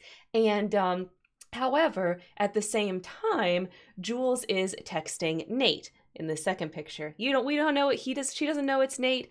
You know, she finds him on like a Tinder type of website where he is out trolling for peeps because, you know, he's got to get his fuck on cuz that's how Nate is, right? And then um and then so Jules and him kind of get connected and start to like each other and um she basically falls for him, falls for the internet version that that Nate is portraying of this guy. He calls himself Tyler on this app or whatever, right? And Jules falls for him. And Rue like literally helps. Like Rue literally helps like take, you know, softcore porn pictures to send to Nate, like gives um gives Jules encouragement at how to talk to Nate. Um she even expresses like the way that their first meeting goes down with um they're going to meet like at the back of the fair, which is super sus. And Rue points this out the same way that like a friend would that is kind of like rooting for the relationship to say like this is sus, you need to meet in public, you know, this is dangerous, something's going or on here. Yeah, or whatever. right? Well, so so it's it's it's this very interesting kind of like polyesque sorts of sort of thing and it's because here's the deal like they're the, we can call them girlfriends all you want but it's also a uh like the whole Rue and Jules relationship is also just a I, I think it's a commentary on queer relationships in general and just that like with how straight heteronormative relationships tend to present themselves it is very black and white mm-hmm. it is very defined there is clear lines whereas in queer relationships there aren't like mm-hmm. we want like the media wants to project that there are but it gets as someone who has many queer relationships, very confusing very quickly. how much you are like actually like connecting or communicating or what the intentions are it's always just like a little bit of a like what the fuck is going on and that's where like stereotypes of lesbian relationships moving very quickly comes from is because usually those lesbians have been friends forever. Or uh, or like gay relationships and gay people and and men gay men sleeping with each other all of the time. And it's it's like that's where the that's where the line crossing happens and then the media turns that and portrays that. And so like what ruined ruined um jules's relationship really is a commentary on is the idea of that unknown space that is to be young and queer in a relationship mm-hmm. um but you have that and then you do have like the idea of Rue helping out to to get her friend laid um but at the same and fall in love also because she does fall in love with with who she thinks Tyler is. Um but you also underneath that have Rue wishing of like being like I wish this was me. I wish we were monogamous. I wish you weren't doing this. Um which is interesting because there's no communication happening and it feels very young but at the same mm-hmm. time it's like okay there is that subtle push of monogamy even though literally there are tropes of polyamory happening yes um, and it's it's very it, and it's very much like it's very much like it makes me wonder like sam levinson is supposedly um a cishet straight dude he's a white dude right which we're gonna we're to talk about race and race stuff next episode too. That'll be fun. Um, but uh, but he he's he's cishet straight, right? And yet the way that he makes the queer relationships so different than the heterosexual relationships makes me think that like, but is he really?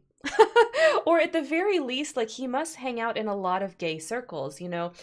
So so like for example he talks the the scene where we find out that kat is a um well loved and prolific fanfic author um, on the internet it makes me think that at minimum sam was like in that space which that space is incredibly queer right? So for anybody that's been in it um, or, or was in it like that space that space be gay okay? It don't matter how cishet straight you are like you will end up doing and thinking gay things because the space is so um, saturated with uh, with LGBT, you know, stuff, right? And so, like the way that he writes this, it feels very real to me. Like it feels very real in everything that I know about um, about being poly, about experiencing queer relationships, and then you've got this flip side, right? So you've got um, Cassie and uh, McKay, and they have a very straight relationship where they have a very clear line of they are together. You know, she gets pregnant. Um, he moves on with like his college stuff, and he kind of you know goes out of the picture. She has the abortion, and they base they break up, right? And then she very clearly and deliberately gets with Nate and it is a cheating plot because Nate is with Maddie or wants to get back with Maddie. Like it's a whole thing, right? And the love triangle, the love triangle between Maddie and Nate and uh, and Cassie is very heteronormative, you know, incredibly heteronormative. And both of those plot lines feel have have high verisimilitude to me. Uh, and then very quickly, I just wanted to add in this too. We also see Jules flirting with another woman towards yes. the end of season, a season one, where she and Rue are basically together. Like they've started making out and shit like that. Um, but then she hooks up with this woman, and it's a, about the femininity, and, and it's about. I mean, it is definitely about her own view of of herself, and and is the next step of her trans journey journey. But it is a very interesting like feeling a, a, of interest to see like that she is pushed towards this idea of poly. and then it's even doubled down when we start getting that rue might be asexual or doesn't have a sexual drive now we don't know that if that's because of the drugs or if that is because of yeah, uh, she might just be too high all the time we don't know but it is definitely pushed that way because then all of a sudden there is like a cheating thing that happens and it's interesting to see in season two um with with I cannot remember his name. Everett? Avery? Elliot. Elliot. Elliot. thinking of Elliot. Um and um where Jules cheats on Rue with Elliot in season 2 and that is more clearly defined but even then like it's not mm-hmm. like that's not the big thing that that Jules even fucking cares about because they're making out all in the same room together um, it's also like that Jules cares about the fact that, or not Jules, Rue cares about the fact that Jules told her mom that she was not sober. Like that's yeah. the thing she's angry about in that situation, not even the cheating. yeah. And what and the thing and the thing that um that really gets but see Jules is different. Like Jules does care about making sure that the lines of communication are open. Like she does she has this little thing where she gets like um, obsessed with like maybe Elliot and Rue are hooking up behind her back, right? And she thinks that that's the issue because they're the because Jules and Rue are not getting along too well in the bedroom. Like things are not flowing. There's a scene where Rue fakes an orgasm and Jules is pretty sure that she did, and it's like it's like a whole thing, right? And then so Jules starts to think like, well, maybe Rue's actually interested more in Elliot, and that's why we're not connecting in the bedroom, and da da da da. So like Jules is concerned with um with that sort with open communication and knowing what's going on, and she doesn't want Rue hiding anything from her. Mm-hmm.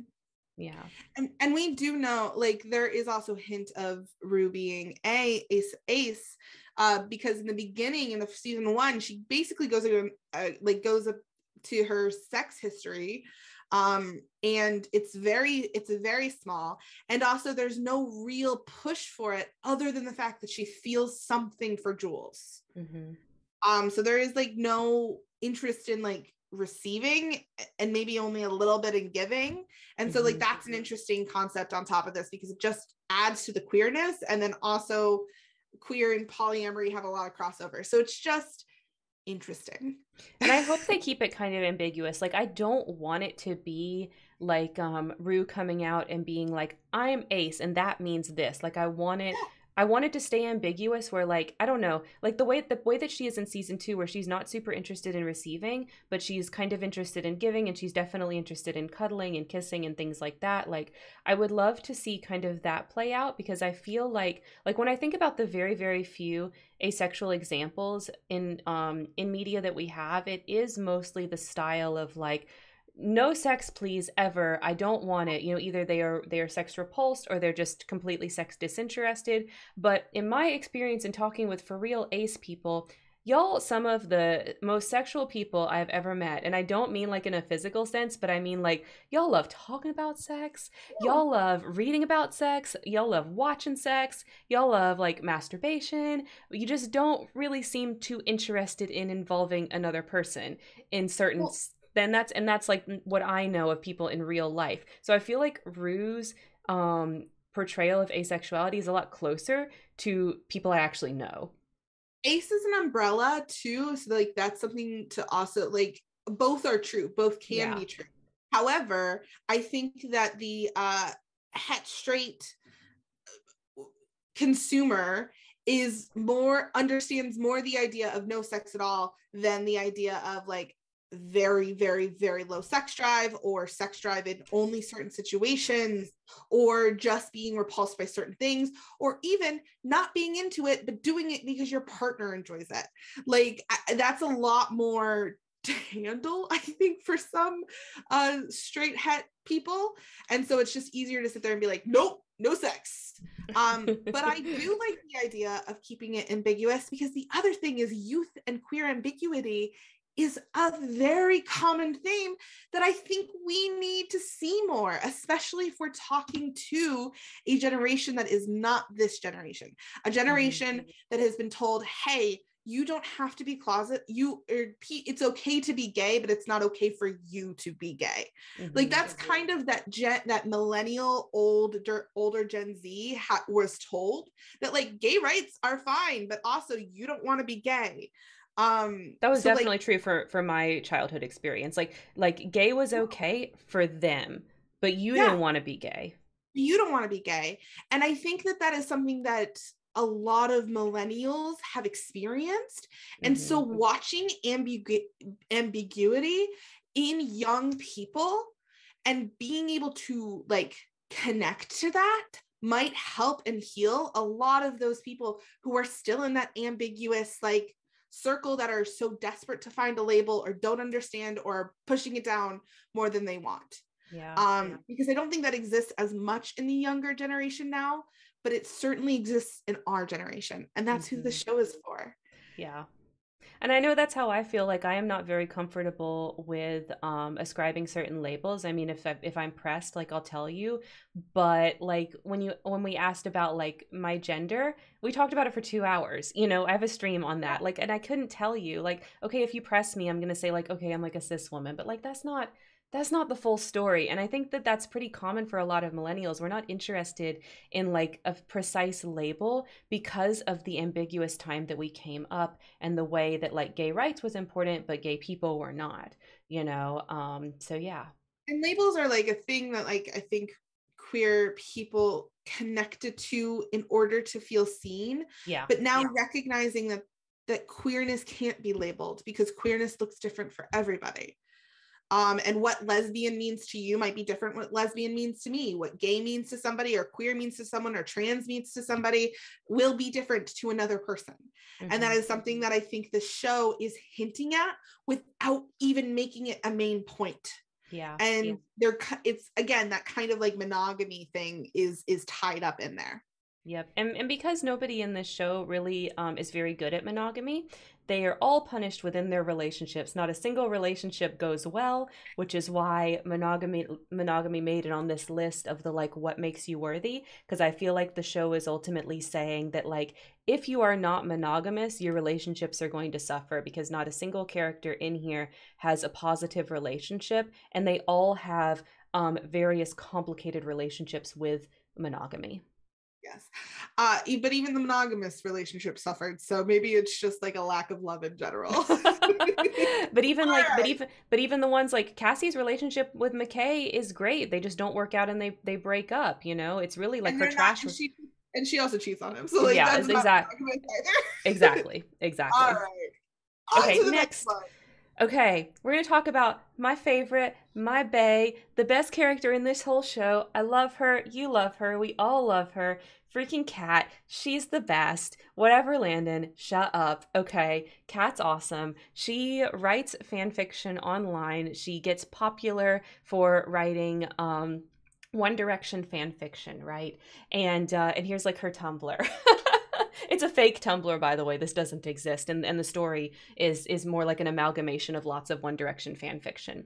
But um, but she this actress is a plus size model and the character is considered fat. Now i do have one small gripe with this character. So when she's introduced we find out that the reason she's fat like she she wasn't and then she went on a vacation and over the course of that one week vacation she drank like 50 pina coladas. No exaggeration it's literally like 50 pina coladas. She drank like four or five a day or something. And she came back fat and she never lost the weight. So so i want to have a, I have a small gripe here. I don't think that's how it works. I don't think you can have one week of being bad and then gain weight and never lose it. Like That's not my experience with weight. That's not anybody that I know's experience with weight. Landon, do you know anybody that's had that experience with weight? Like one bad week mess them up forever? No, but I think that that what that portrays is the experience of betrayal with body, which fat people do have. True. And it's that idea of like, hey, if I could just pinpoint this bad behavior in which I fucked up and my body turned out the way that I don't like it. And I think that that's what that whole scenario is trying to encompass. And it speaks mostly only to people who have that scenario. And it speaks to a joke for people who do not. And that's why it's also ucky because it's like, it's not that's not the point. yeah. And it's unfortunate. It's unfortunate because I think Kat is a great character with tons of potential. But unfortunately, Kat starts to touch on things that I think Sam maybe doesn't have experience with. Where I think that when he writes about drugs and sobriety, when he writes about monogamy, when he writes about masculinity, spoilers that's coming next, um, it's excuse me, it feels like very high verisimilitude. But this, like some of the things that Kat goes through, there's like little bits in there that are like, mm, that's not quite right that's not quite right right? But i still do love the arc that she goes on where she kind of she kind of realizes through a, a, a series of scenarios that um that even though she's got more weight than her peers um she is still desirable. She can still be seen as desirable if she's willing to use her body. And so she ends up doing a bunch of cam girl work and making a whole lot of money. Um and and so i i think that when it comes to what the show is saying like it rewards her for her hypersexuality in season 1 which i think is really interesting because at least from what i know having an experience with hypersexuality as a as a teenager is usually like more of a trauma response. Like people don't like a lot of teenagers are really horny, right? But there's a difference between being super, super horny and becoming a cam girl when you're under the age of 18. Okay, there's a difference there. So I think what Kat is experiencing is not like a normal level of high sex drive. It is like so much more. And that's why I'm labeling this hypersexuality and and why I feel like the show kind of makes it seem like that's a good thing to be. Yeah, I think that that's my issue with Kat is not the character. It's not even it's not the actress. I think the actress is fantastic. I think it's awesome to see a character like this. However, uh fat girl gets obsessed with sex is a trope that has been played before and is tired um of like sitting there and being like oh i feel good in my body and i found worthy in my body. And that is eh, but it's not even i feel good in my body. It's that i figured out i could please other people with my body and therefore i have worth. Mm-hmm. and that is a played trope. Um and it's exhausting. And because of how sam wrote this and in his inexperience with it we never see the other side of that. Mm-hmm. it is only portrayed as a good thing of being like oh, it's not claiming she's 16. It's not claiming sexuality. It's not claiming her body. It's not claiming power back because she has felt fat her entire life. Uh, because like she's 16.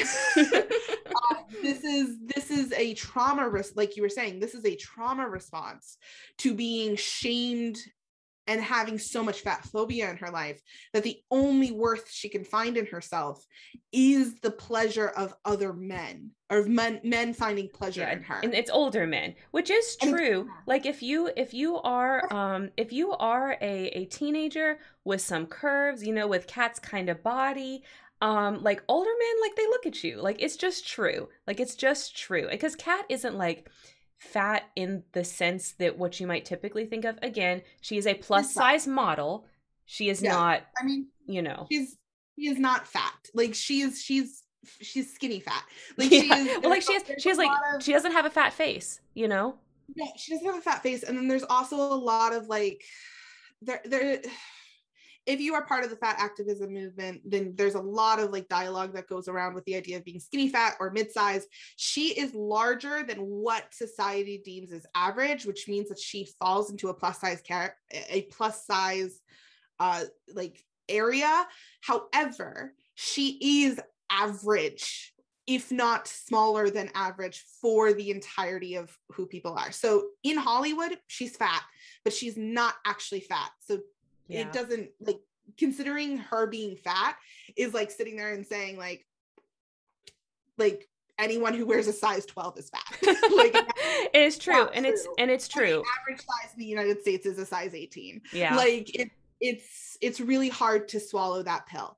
And then it's really hard to see this go down a stage as a, a, a trope that is very, very dependent on how other people see you rather than mm-hmm. actually reclaiming and becoming body neutral because she's not body neutral. Mm-hmm. Uh, and the, mm-hmm. at 16, she can't be um but it is portrayed in the show of like doing this like i'm doing this fucking amazing thing in the show by talking about a fat girl being you know going on and and becoming a cam girl underage because she is so desperate to feel wanted by someone and then also that continues on her relationships it's not just older men it's the younger men in her it, around her as well that only find use for her in her physical body, mm-hmm. including the boy that she ends up with.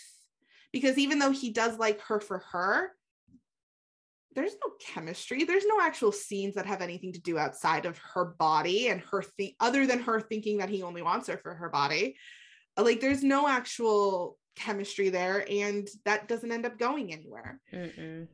Uh, and then to find out that Sam wanted to follow this up with her having an eating disorder is sad. Yeah, because that's it's another really sad. trope.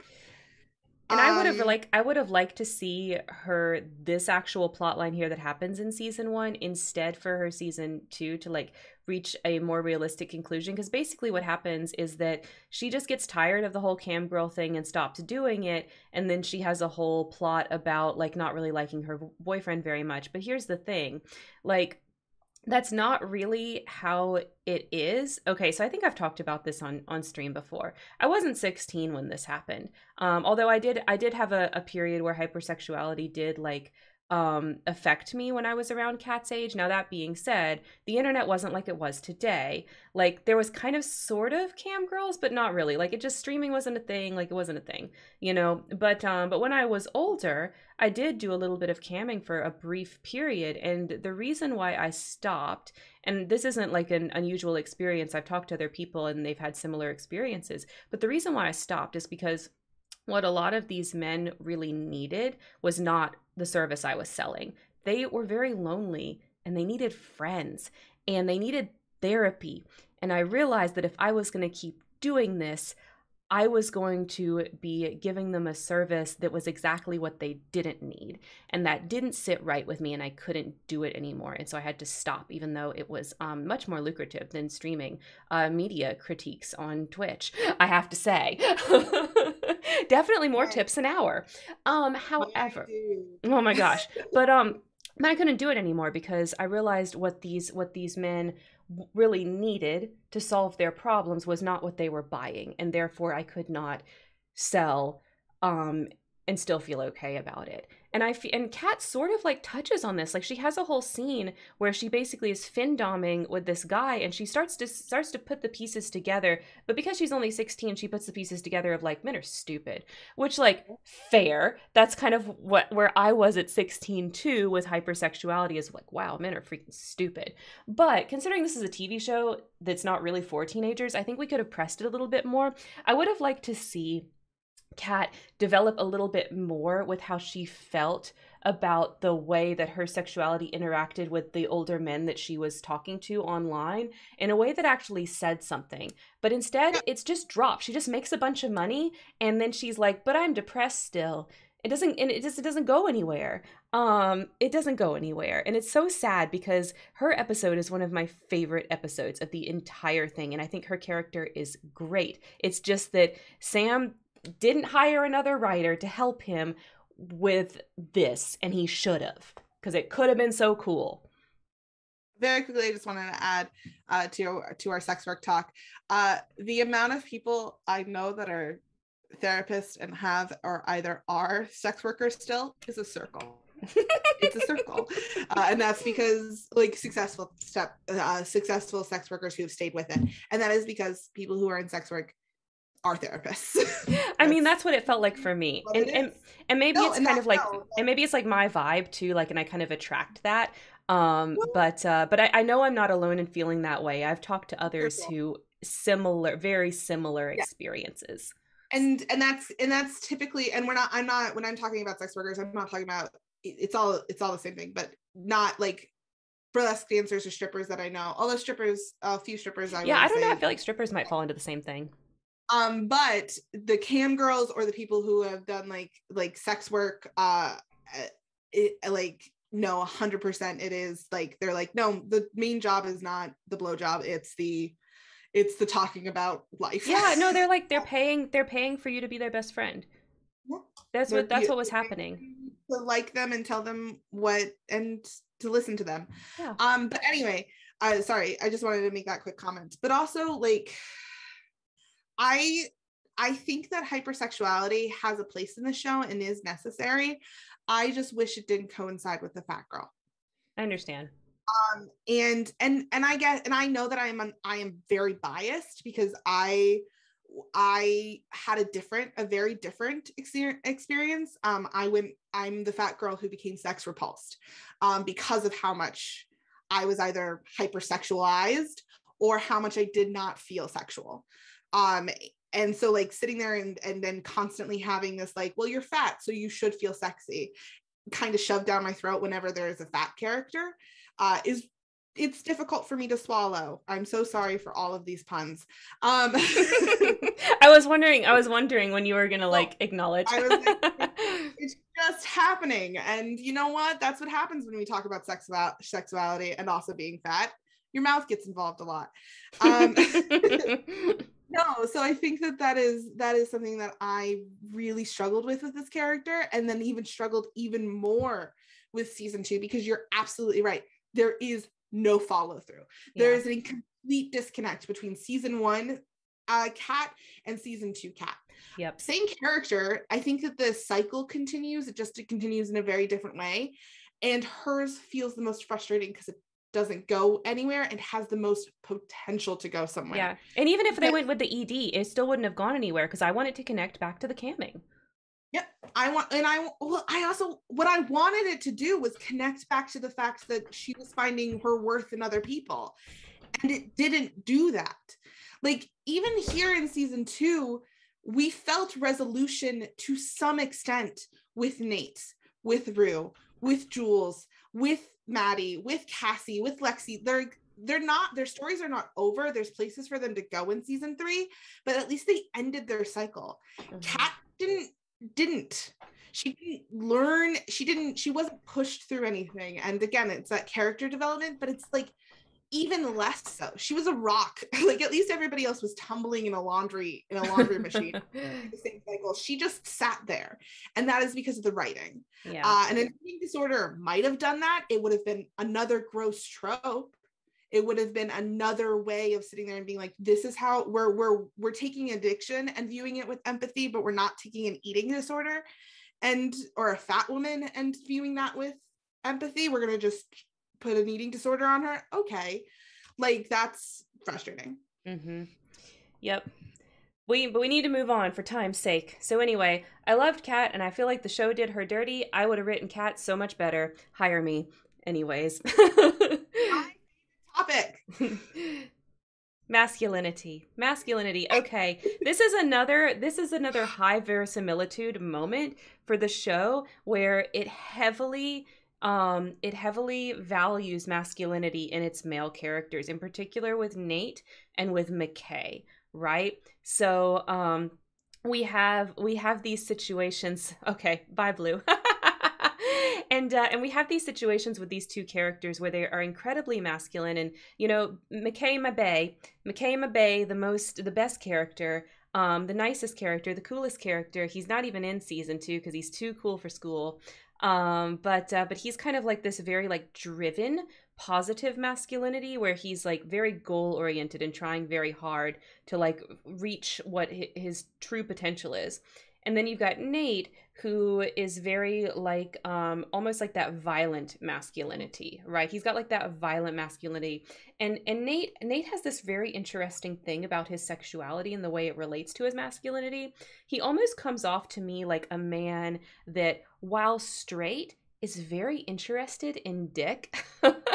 Which I don't know if you've ever met this type of man, Landon, or if any of our viewers have ever met this type of man where they they like it's not that they're gay but like they like dick and they are they like are very particular about like what kind is in their porn.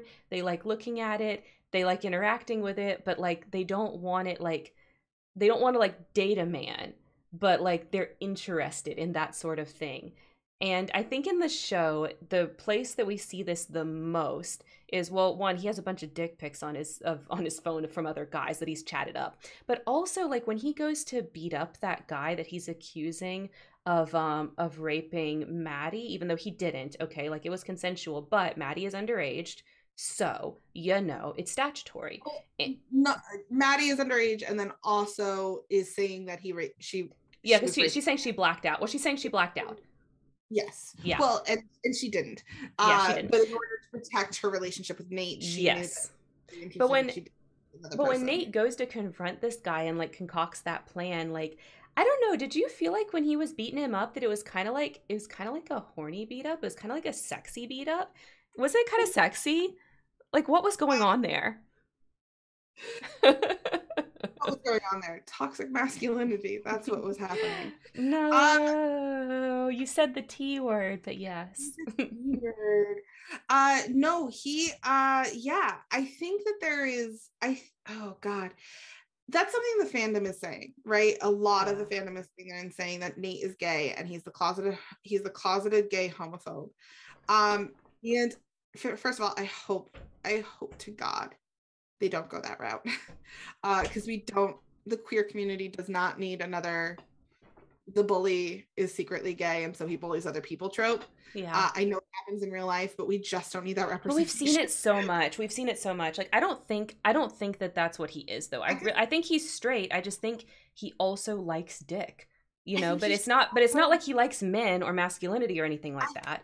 also incredibly traumatized from watching yes. his father's porn collection.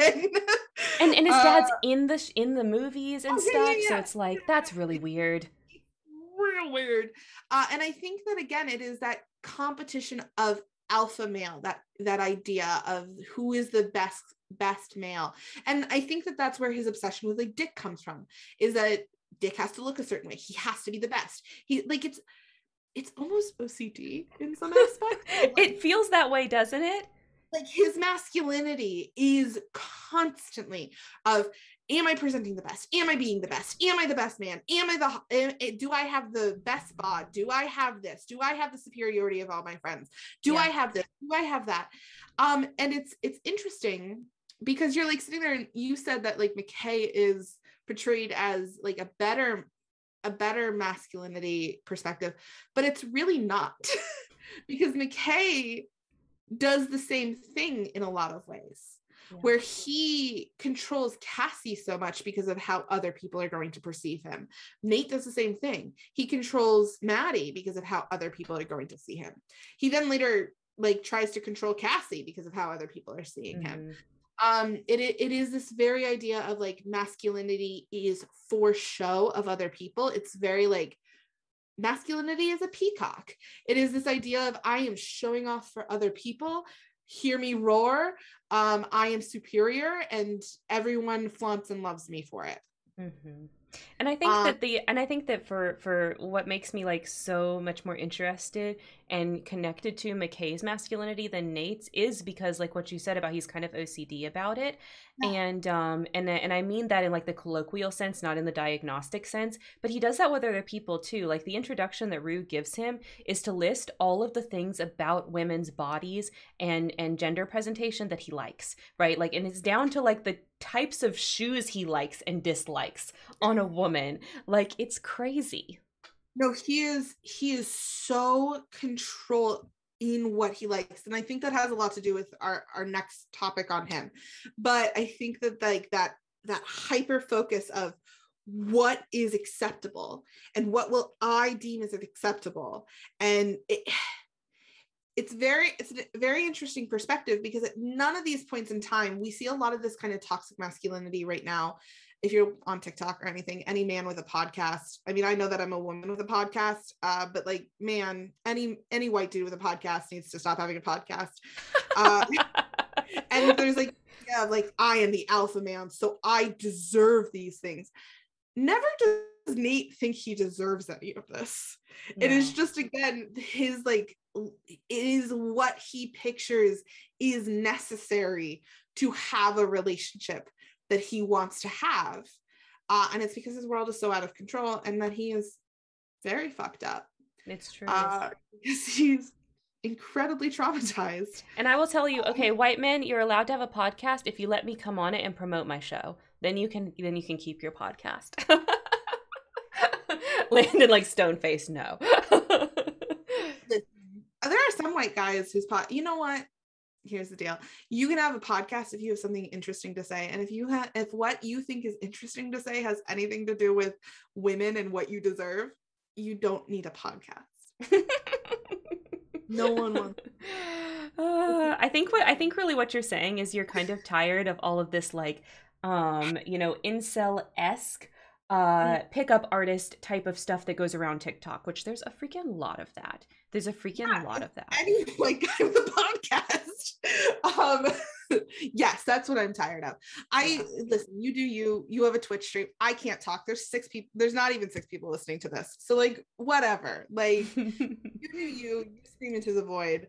But also i'm so tired of men. Poor landon poor landon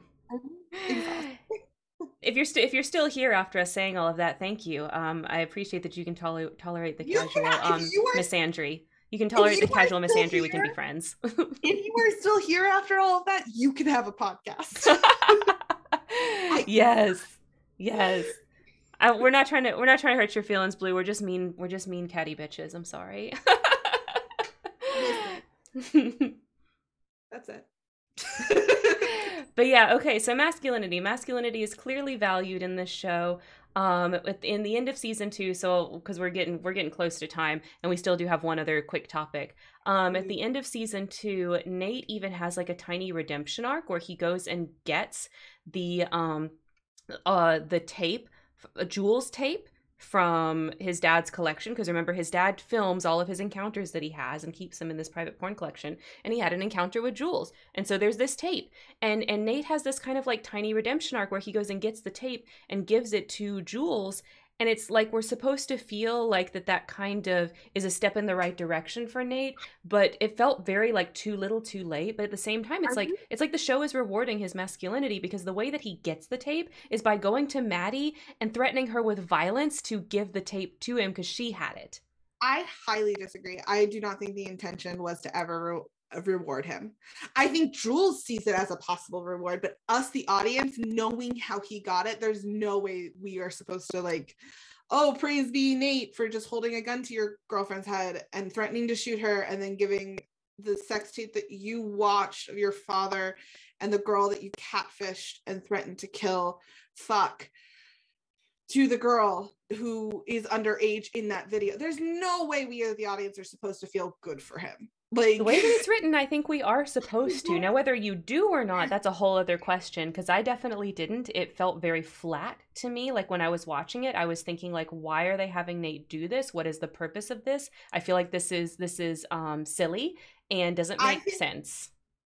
I think I I don't think I don't know. Maybe I'm just jaded, but like for me, how I read that was Nate is grasping for control and who can he have power over in this moment because he's about to throw his dad in jail so who can he have power over at this moment and he knows that he doesn't have control of his mom mm-hmm. he can get control of jules because he can do this kind thing well, we we'll see uh, if that pans out in season three. You might be right. The way that I felt is we were supposed to like we were supposed to feel like it was like a mini t- tiny redemption arc for Nate, and it didn't land with me. That's how I thought it was supposed to be.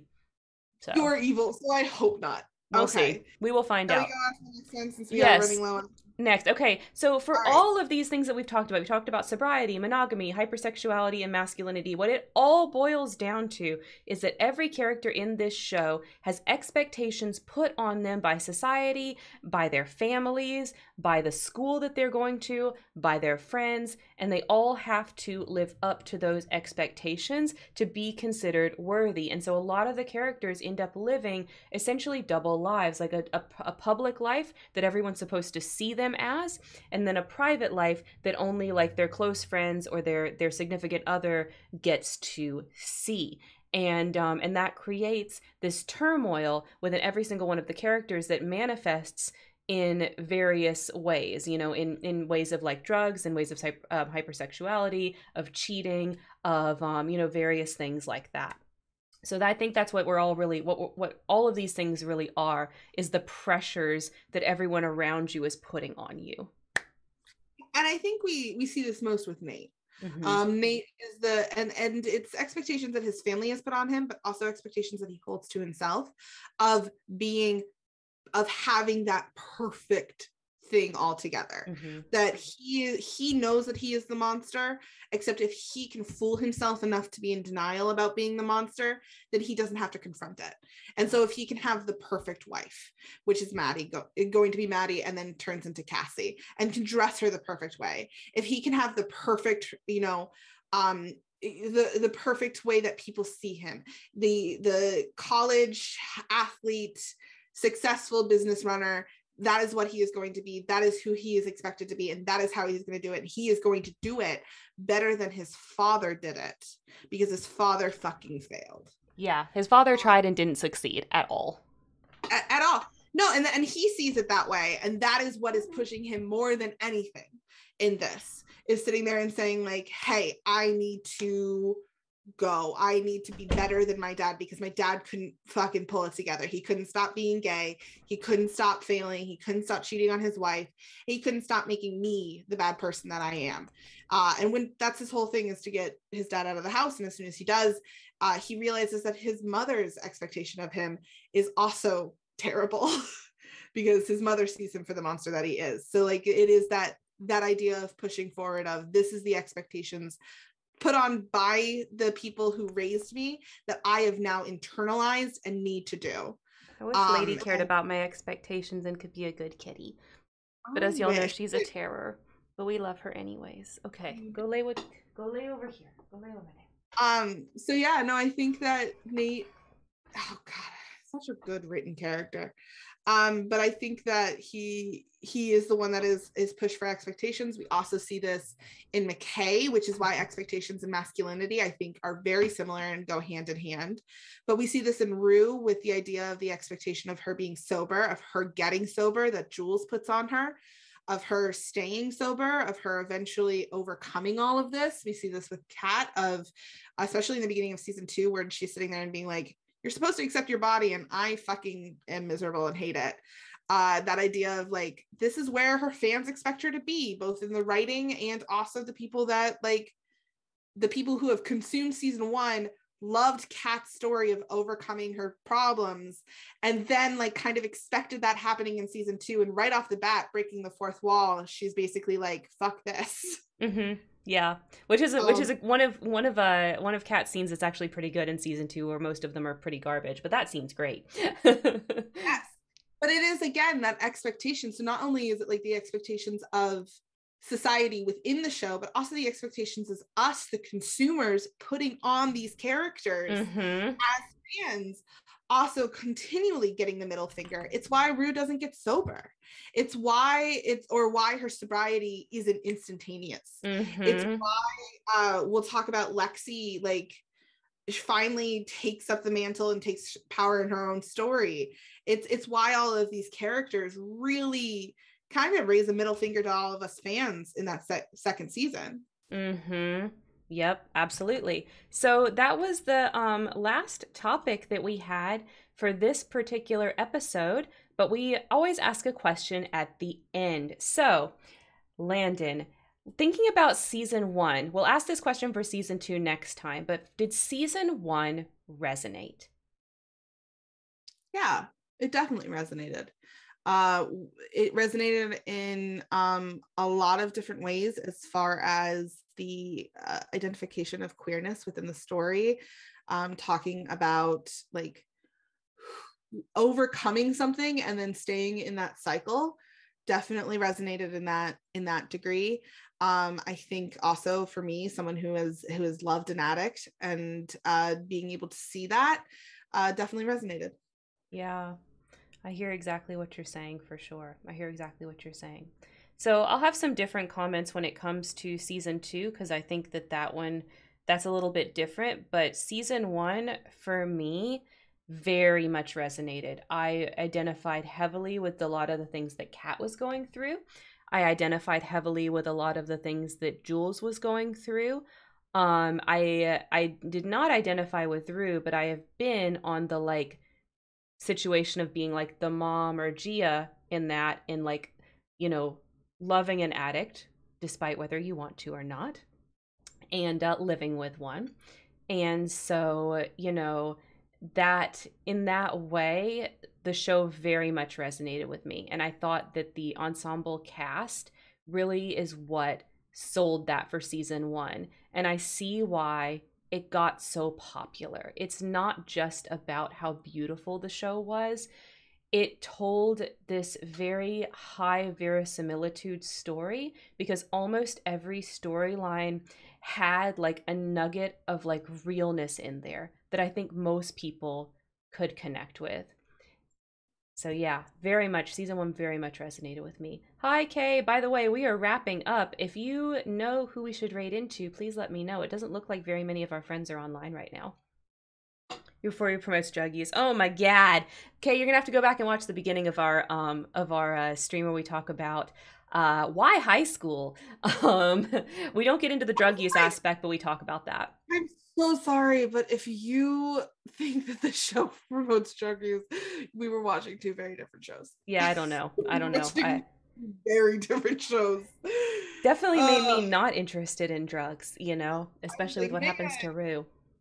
Watching Rue like not be able to get out of bed and getting a bladder infection because of it, and I know that that also had to do with depression, but it also had to come with coming down. That's a lot. Mm-hmm. Mm-hmm.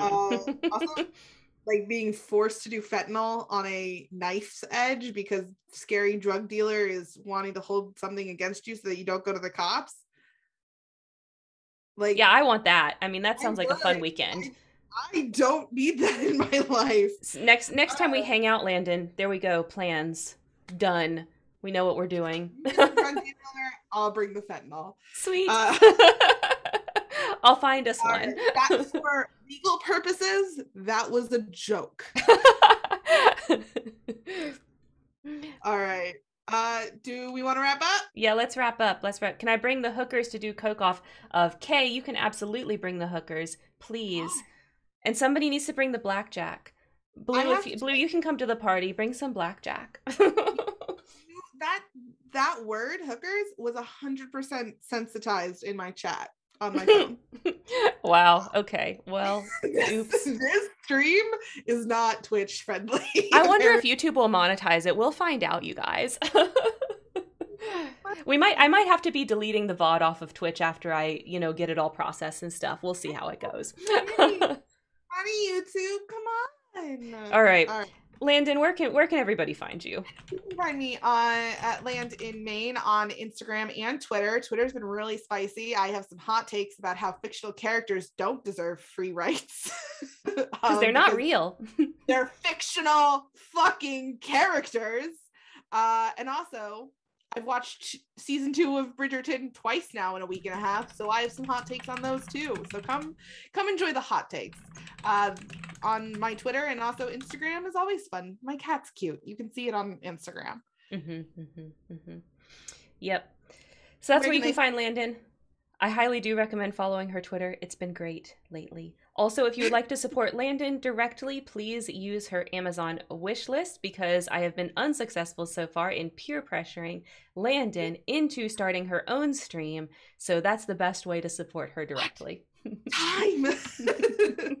I know, right? Maybe this summer. We'll see. We'll see. All right, so where can you find me, guys? You can find me right here on Twitch.